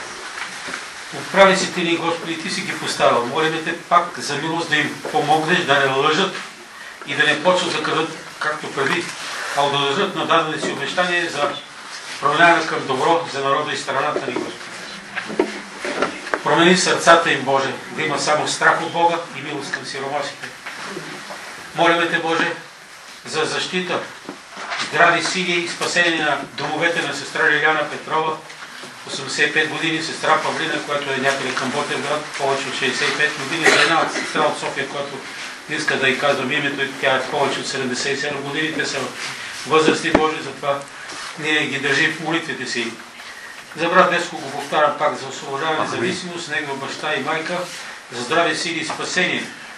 За брат Петър Чакъров, за милост Господи, за сестра Христина Круша, също така, сестра Петка от Добрич, чиято майка е починала преди една-три месеца. Господи, за утешение, защото тя чувства така мъка по загубата на майка си. И за всички тия споменати Божи, за здраве сили, защита и спасение на домовете. За брат Здравко не знам какво е положението, той беше в изгаряне трета степен, Господи, за пълно изцеление, за да може Амин. да работи и да помага на дома си, Господи. За брат Александър Горонов се беше споменен за защита и здраве. И една нова нужда за брата Леша от Португалия, който ми се обади по интернет. Неговата история е много интересна, но няма време сега да я казвам. За пълно освобождение и сили да не греши и за, за защита на това освобождение. Амин. И сега те молим, души святи, следи между нас, от глава на глава, от сърце на сърце и молим и те действай със силата на изцелението в Исус Христовото име.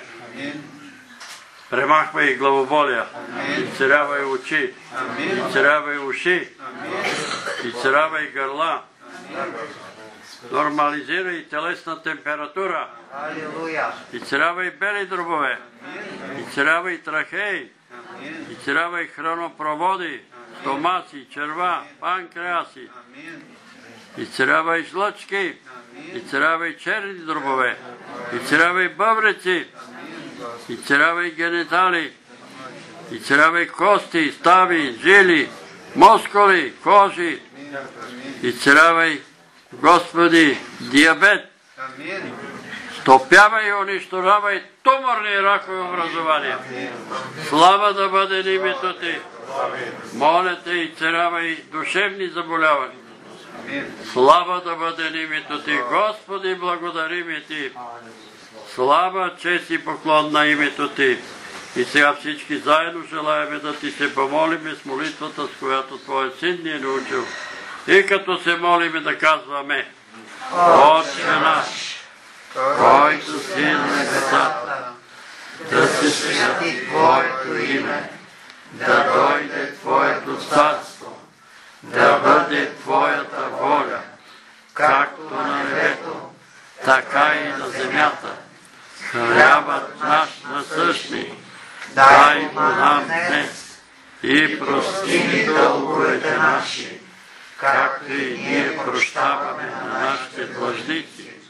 И не ни въвеждай в изкушения, но избави нас от лукавия защото е Твое царство и силата и славата вечни веков. Амин. Вярвам В един Бог Отец, Вседържител, Творец на небето и земята, на всичко видимо и невидимо, и в един Господ Исус Христос, Сина Божия, единороден, който е роден от Отца, преди всички векове, светлина от светлина, Бог истинен от Бог истинен, роден, несътворен, единосъщен с Отца, и чрез когото всичко е станало, и който заради нас човеците и заради нашето спасение слезе от небесата и се въплати от Духа Святаго и Дева Мария и стана човек и бе разнат за нас при Понтия Пилата и страда и бе погребан и възкръсна в третия ден според Писанията и се възнесе на небесата и седи от дясно на Отца и пак ще дойде със слава да съди живи и мъртви и царството му не ще има край.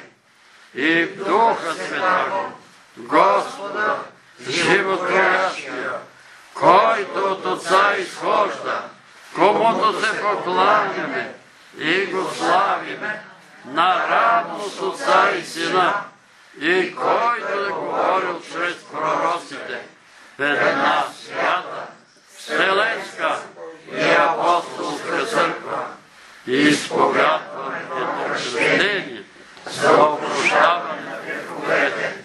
Чакам въскресение на мъртвите и живот в бъдещия век.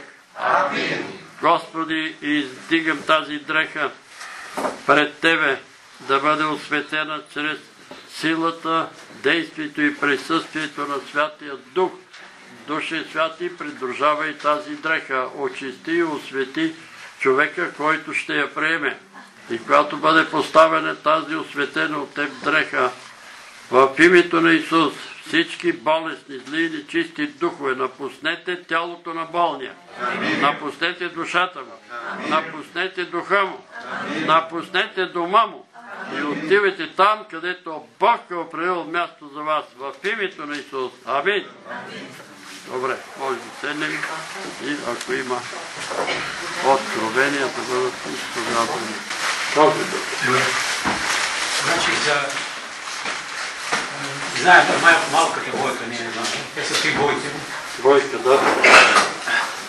Има, продават а, светарските магазини едни, то си направо слънчоглед, ама го продават като слънчоглед цвете.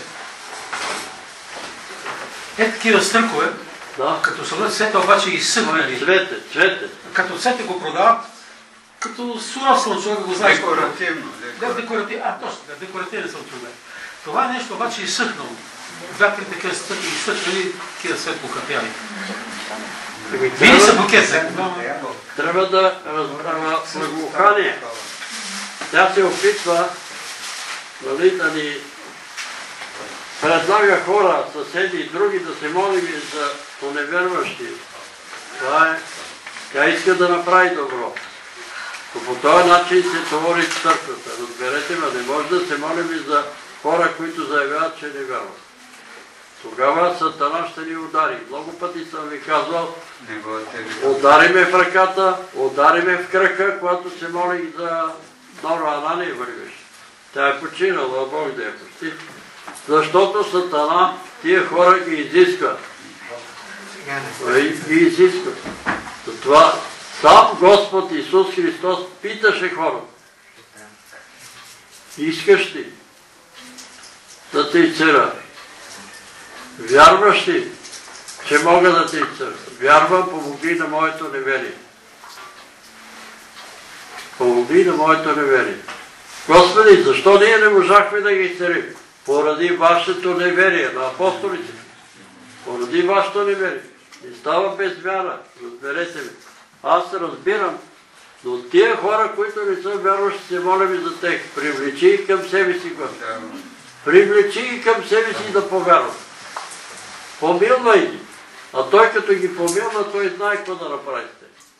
Защото е писано, ако отец ми не привлече некой към себе си, не може да дойде при мен. И затова трябва да има некой за тия, дето не са вярващи да се помоли, некой за тех, за да може Бог да ги привлече и да ги заведе чрез Святия Дух при Исус. И тогава вече ще се молим. Али казвам ви, пред Бога ви говоря. Единият път ми изрита в крака, втория път в корема, когато една жена излъга, че не и доверила на мъжата. И трети път ме удари в ръката, тук когато полагам ръкана, болен от рак, еми тя е вярваща, а тя не е вярваща. И затова от тогава питам, идва една жена у дома, да се моля за нея. Вярваш ли, че Исус е Божи? Вярвам. Вярваш ли, че е роден от Дева Мария? Вярвам. Вярваш ли, че е възкръснал? Вярвам. А вътре в мене духа казва, не вярва. И аз се питам, сестро, защо ме излага? А тя вика, ами вика, за да се молиш за мене. Е, като се мола и няма резултат, каква полза? Защо ме излага? Затова знам, че ще ми се разсърдат някои. Е, брат Илия се моли за всички, Пламен се моли за невярващи, а нека се моли. Аз няма да се моля, защото ви казвам, три пъти съм ударен. Един път левия крак, един път левата ръка, един път в корема. За това, че се моля за хора, които не вярват. Или които лъжат. Които лъжат. Аз ще се моля за всички невярващи. За всички човеци имаме право да се молим. Бог да ги доведе до покаяние. Бог да ги свести да се опомнат за високо поставени и ниско поставени.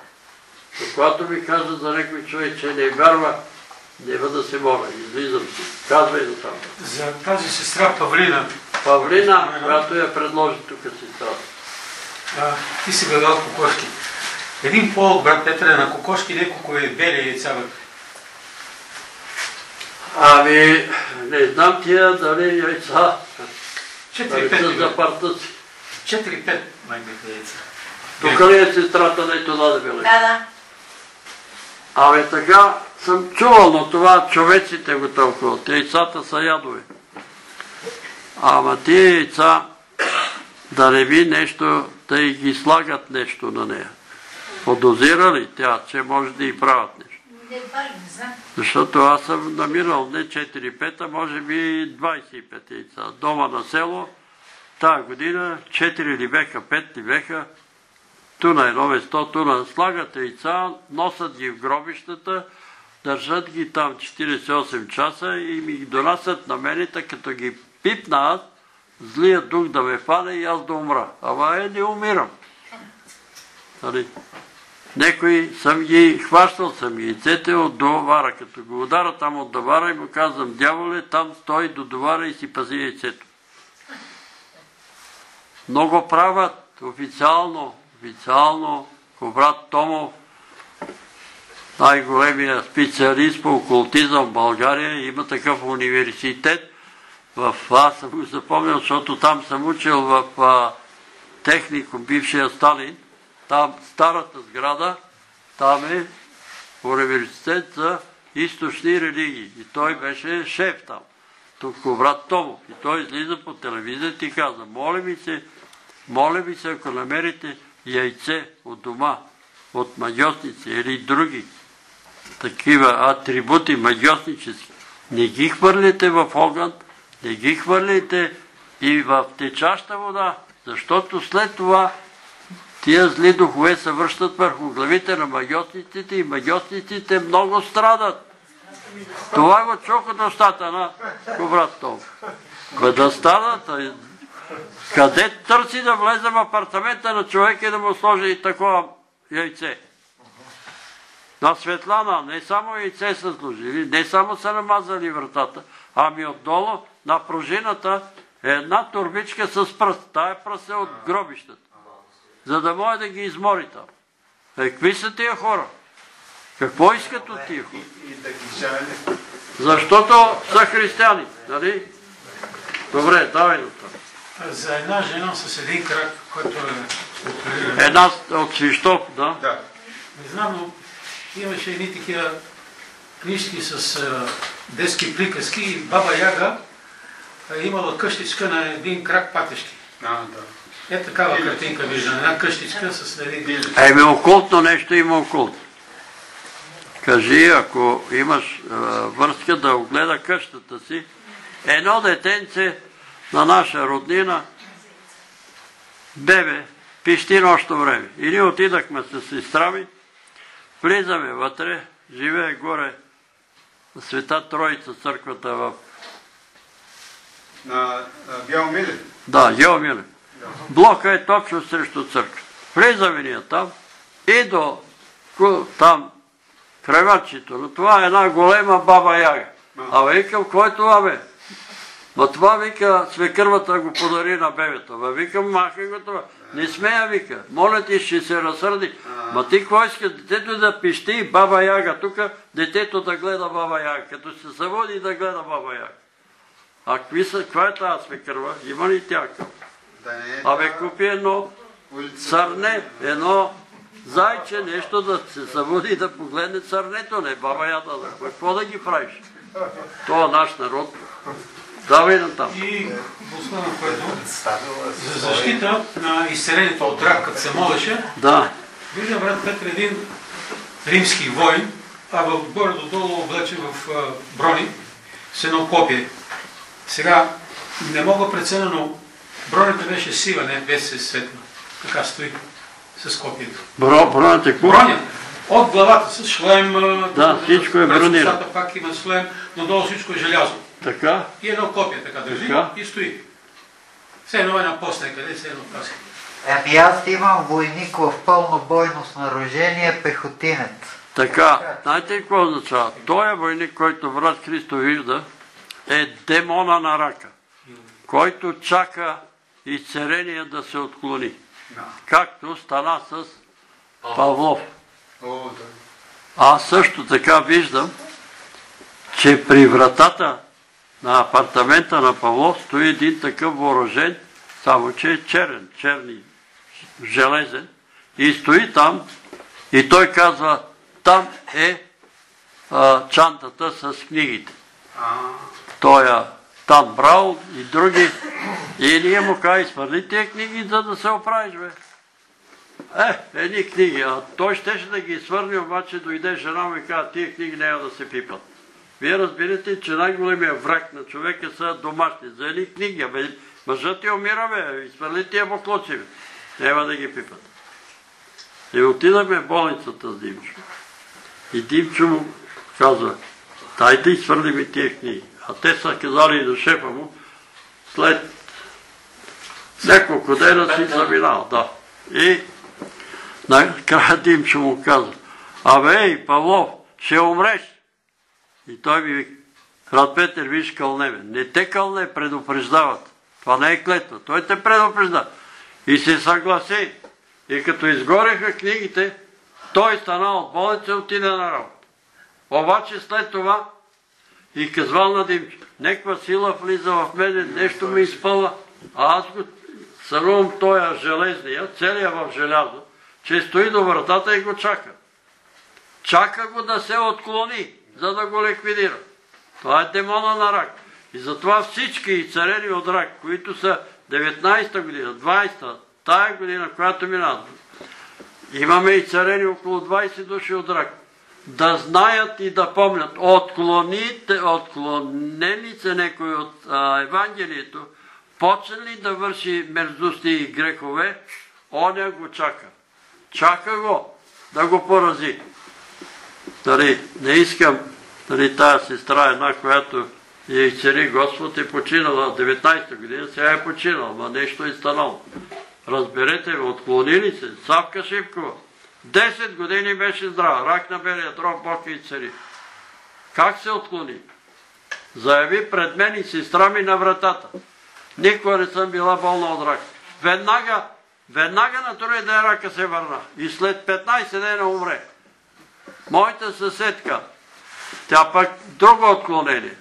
Отишла, мен ме накара. Тя не каза за какво.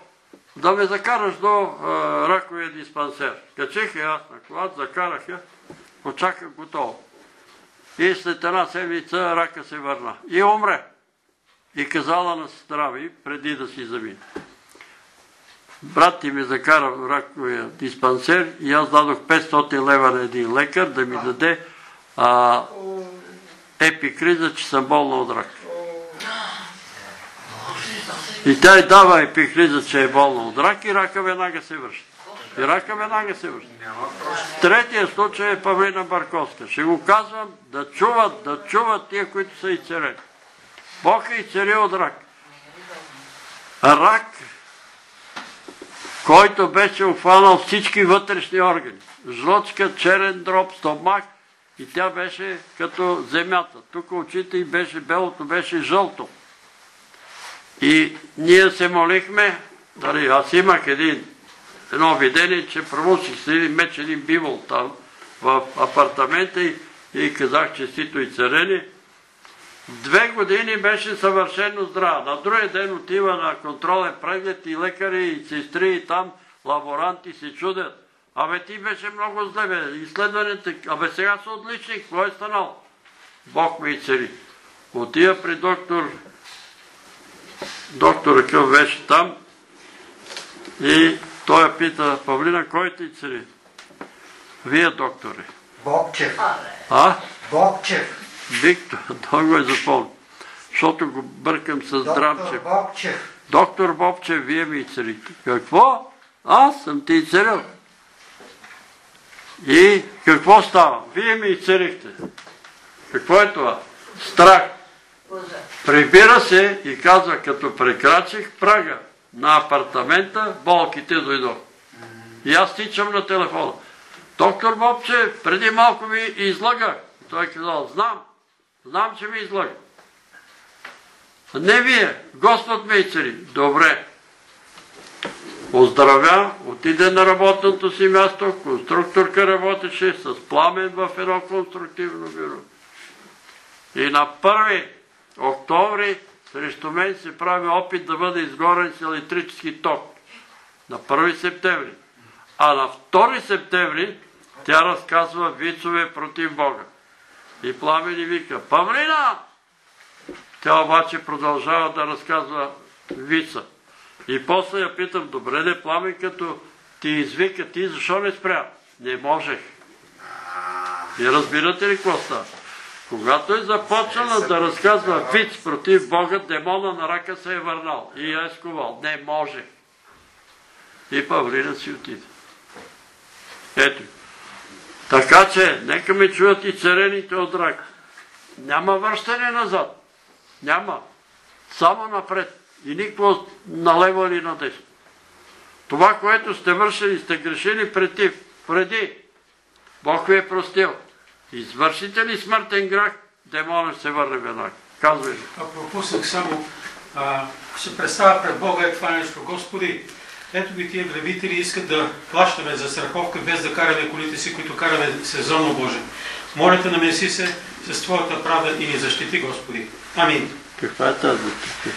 Гаранционен фонд иска да плащам за страховка, колата ми е паркирана. Да не занимавам, само Да, разбирам. Ще ти отпишат. Казвай. Така. Само исках да кажа, че аз, аз никога не съм полагал ръце до момента, в който дойдоха брат Никола и сестра Русица на Були на Ливада и тя ме убеди, че няма проблем да полагам ръце на който иде. Положих ръце и като ме удари едно главоболие два пъти по 8 дена, няма да ви казвам как се чувствам. Така че изобщо не рискувайте. Не рискувайте Може и да си- питайте, вярваш ли? Ако каже вярвам, той си отговаря. Вярвам. Така, в началото на молитвата, когато започна да се молиш, виждам снаряди се изстрелват към небесата, молитвите отиват към Бога. Така, за Цветанка. За Цветанка. Павлова. Да. Виждам една планинка рекичка, не е много голяма, но тече планинска рекичка, така в много зелена зона. За болните от COVID виждам овчар, който придружава стадо от новородени агънца. Господ ги пази. И царени. за Катя, която също е от COVID и е в ВМИ, и виждам сградата на ВМИ, значи е защитена. Щом е там, е под лекарски контрол. Йоанита, Снежана и Васил, Ве, Веско или Васил, а, значи един свещеник е коленичил в черно расо и килимелка и се моли за тях. За Фиданка, която е след операция, смущения, виждам една огромна католическа катедрала. Такива, като съм бил в Прага и в Австрия и на други места, съм виждал величествени сгради. Да се сгради, да, да а пуска психиатрите и да бега в църквата. Да, да отива Поред мен това означава. Тя ви казва, че, извинявай, Панчо, Да. че има някаква християнска организация, която се занимава с хората, които са изпаднали в а, коронавирус и в психични проблеми. И са и препоръчали тая организация, не знам кой е препоръчал от църквата, тя отишла там и те са я завели в психиатричната болница, там да й помагат. Ама какво ще й помагат? Към ти си вярваща, имаш мирния договор, едно по едно, едно по едно. След операцията, оперирали се от херния и след това е изпаднала в тая депресия. Господ да е на помощ. Давай на там.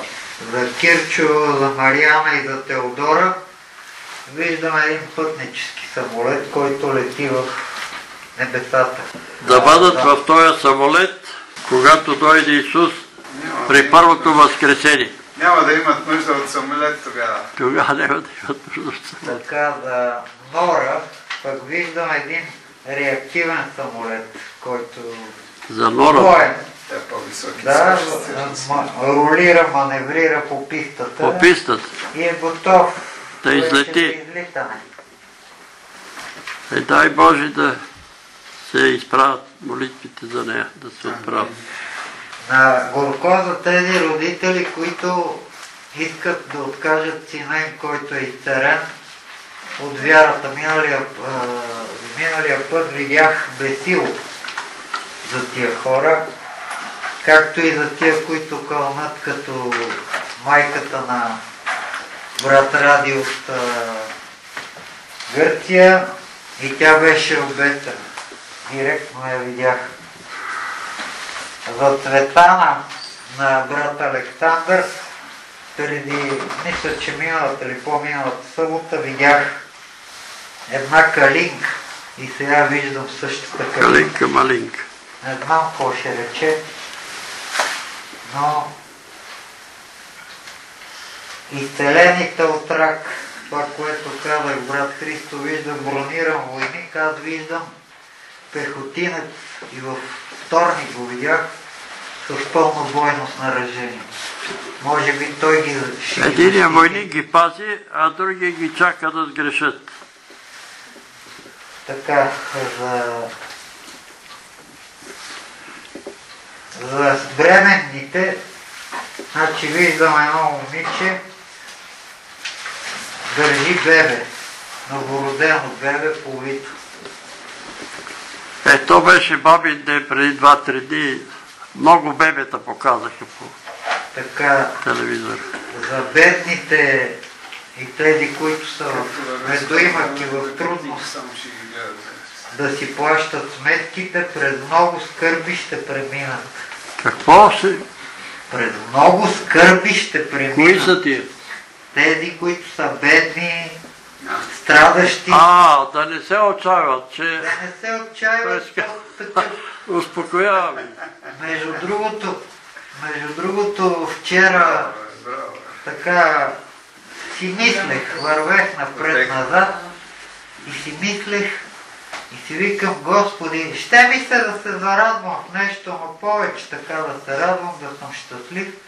И Господ ми вика, ами живота е такъв, но молитвата ще ти помогне да вървиш напред.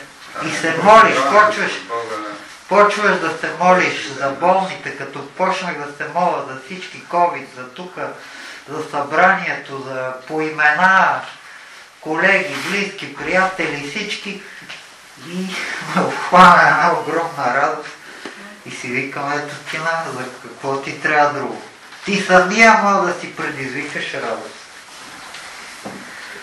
За нормализиране на температурата ти се моли, Значи виждам един от старите кантари, който, с който започна да се балансира. Нали, трябва да се изравнат двете, двата съда и накрая се нормализира. А, за символ на вярата, пак така почнаха да излитат наряди в небесата, а за дрехите виждам тук сложен един, един факел, гори, силно гори факел. Бог да ви благослови. Да се изправим и да завършим. Има ли друг някой да каже? А, за Теодора и Павел Да? напрежение в окото. Не знам. Ама ти- само, ти само получи. да, при мен. При. Само при тях. Да погледнат, да погледнат на Евангелието и да бегат от тия източни религии, да се спасяват. Сега аз знам, че Теодора си павка цигари и я излагам тук, ама по-добре да изложа. Тя трябва да спре с цигарите. Ако имаше нужда християните да пушиме, някой беше казал, Бог щеше да ни направи комин на главата, да излиза пушека нагоре. Господ да я помилва и също и Павел съвършено да се откаже от тия източни религии. Ама съвършено, защото това е Вавилон. Това е Вавилон, източните религии. А, брат Александър. С Божията помощ и доста молитва, очевидно, всеки последните 6 изпита, нали, последната година и половина. Да. Слава Бог. 6 изпита с Божията помощ. Шест. Да, професионални, не, не училище Не какво да е училище? университета, професионални изпити, които са доста съвсем Еми, първо, първо на него. Да. Благодарим, Господи, за брат Александър, че си вземал изпита и то с шестица. Слава да бъде името ти. Сега те молим и за тия хора, които са написани в тия списъци, аз не ги знам. Но преди да ги напишат на тия списъци, ти ги знаеш, Господи. Който и за изцеление и царява, и който и за покаяние, привличай към себе си и води го към покаяние.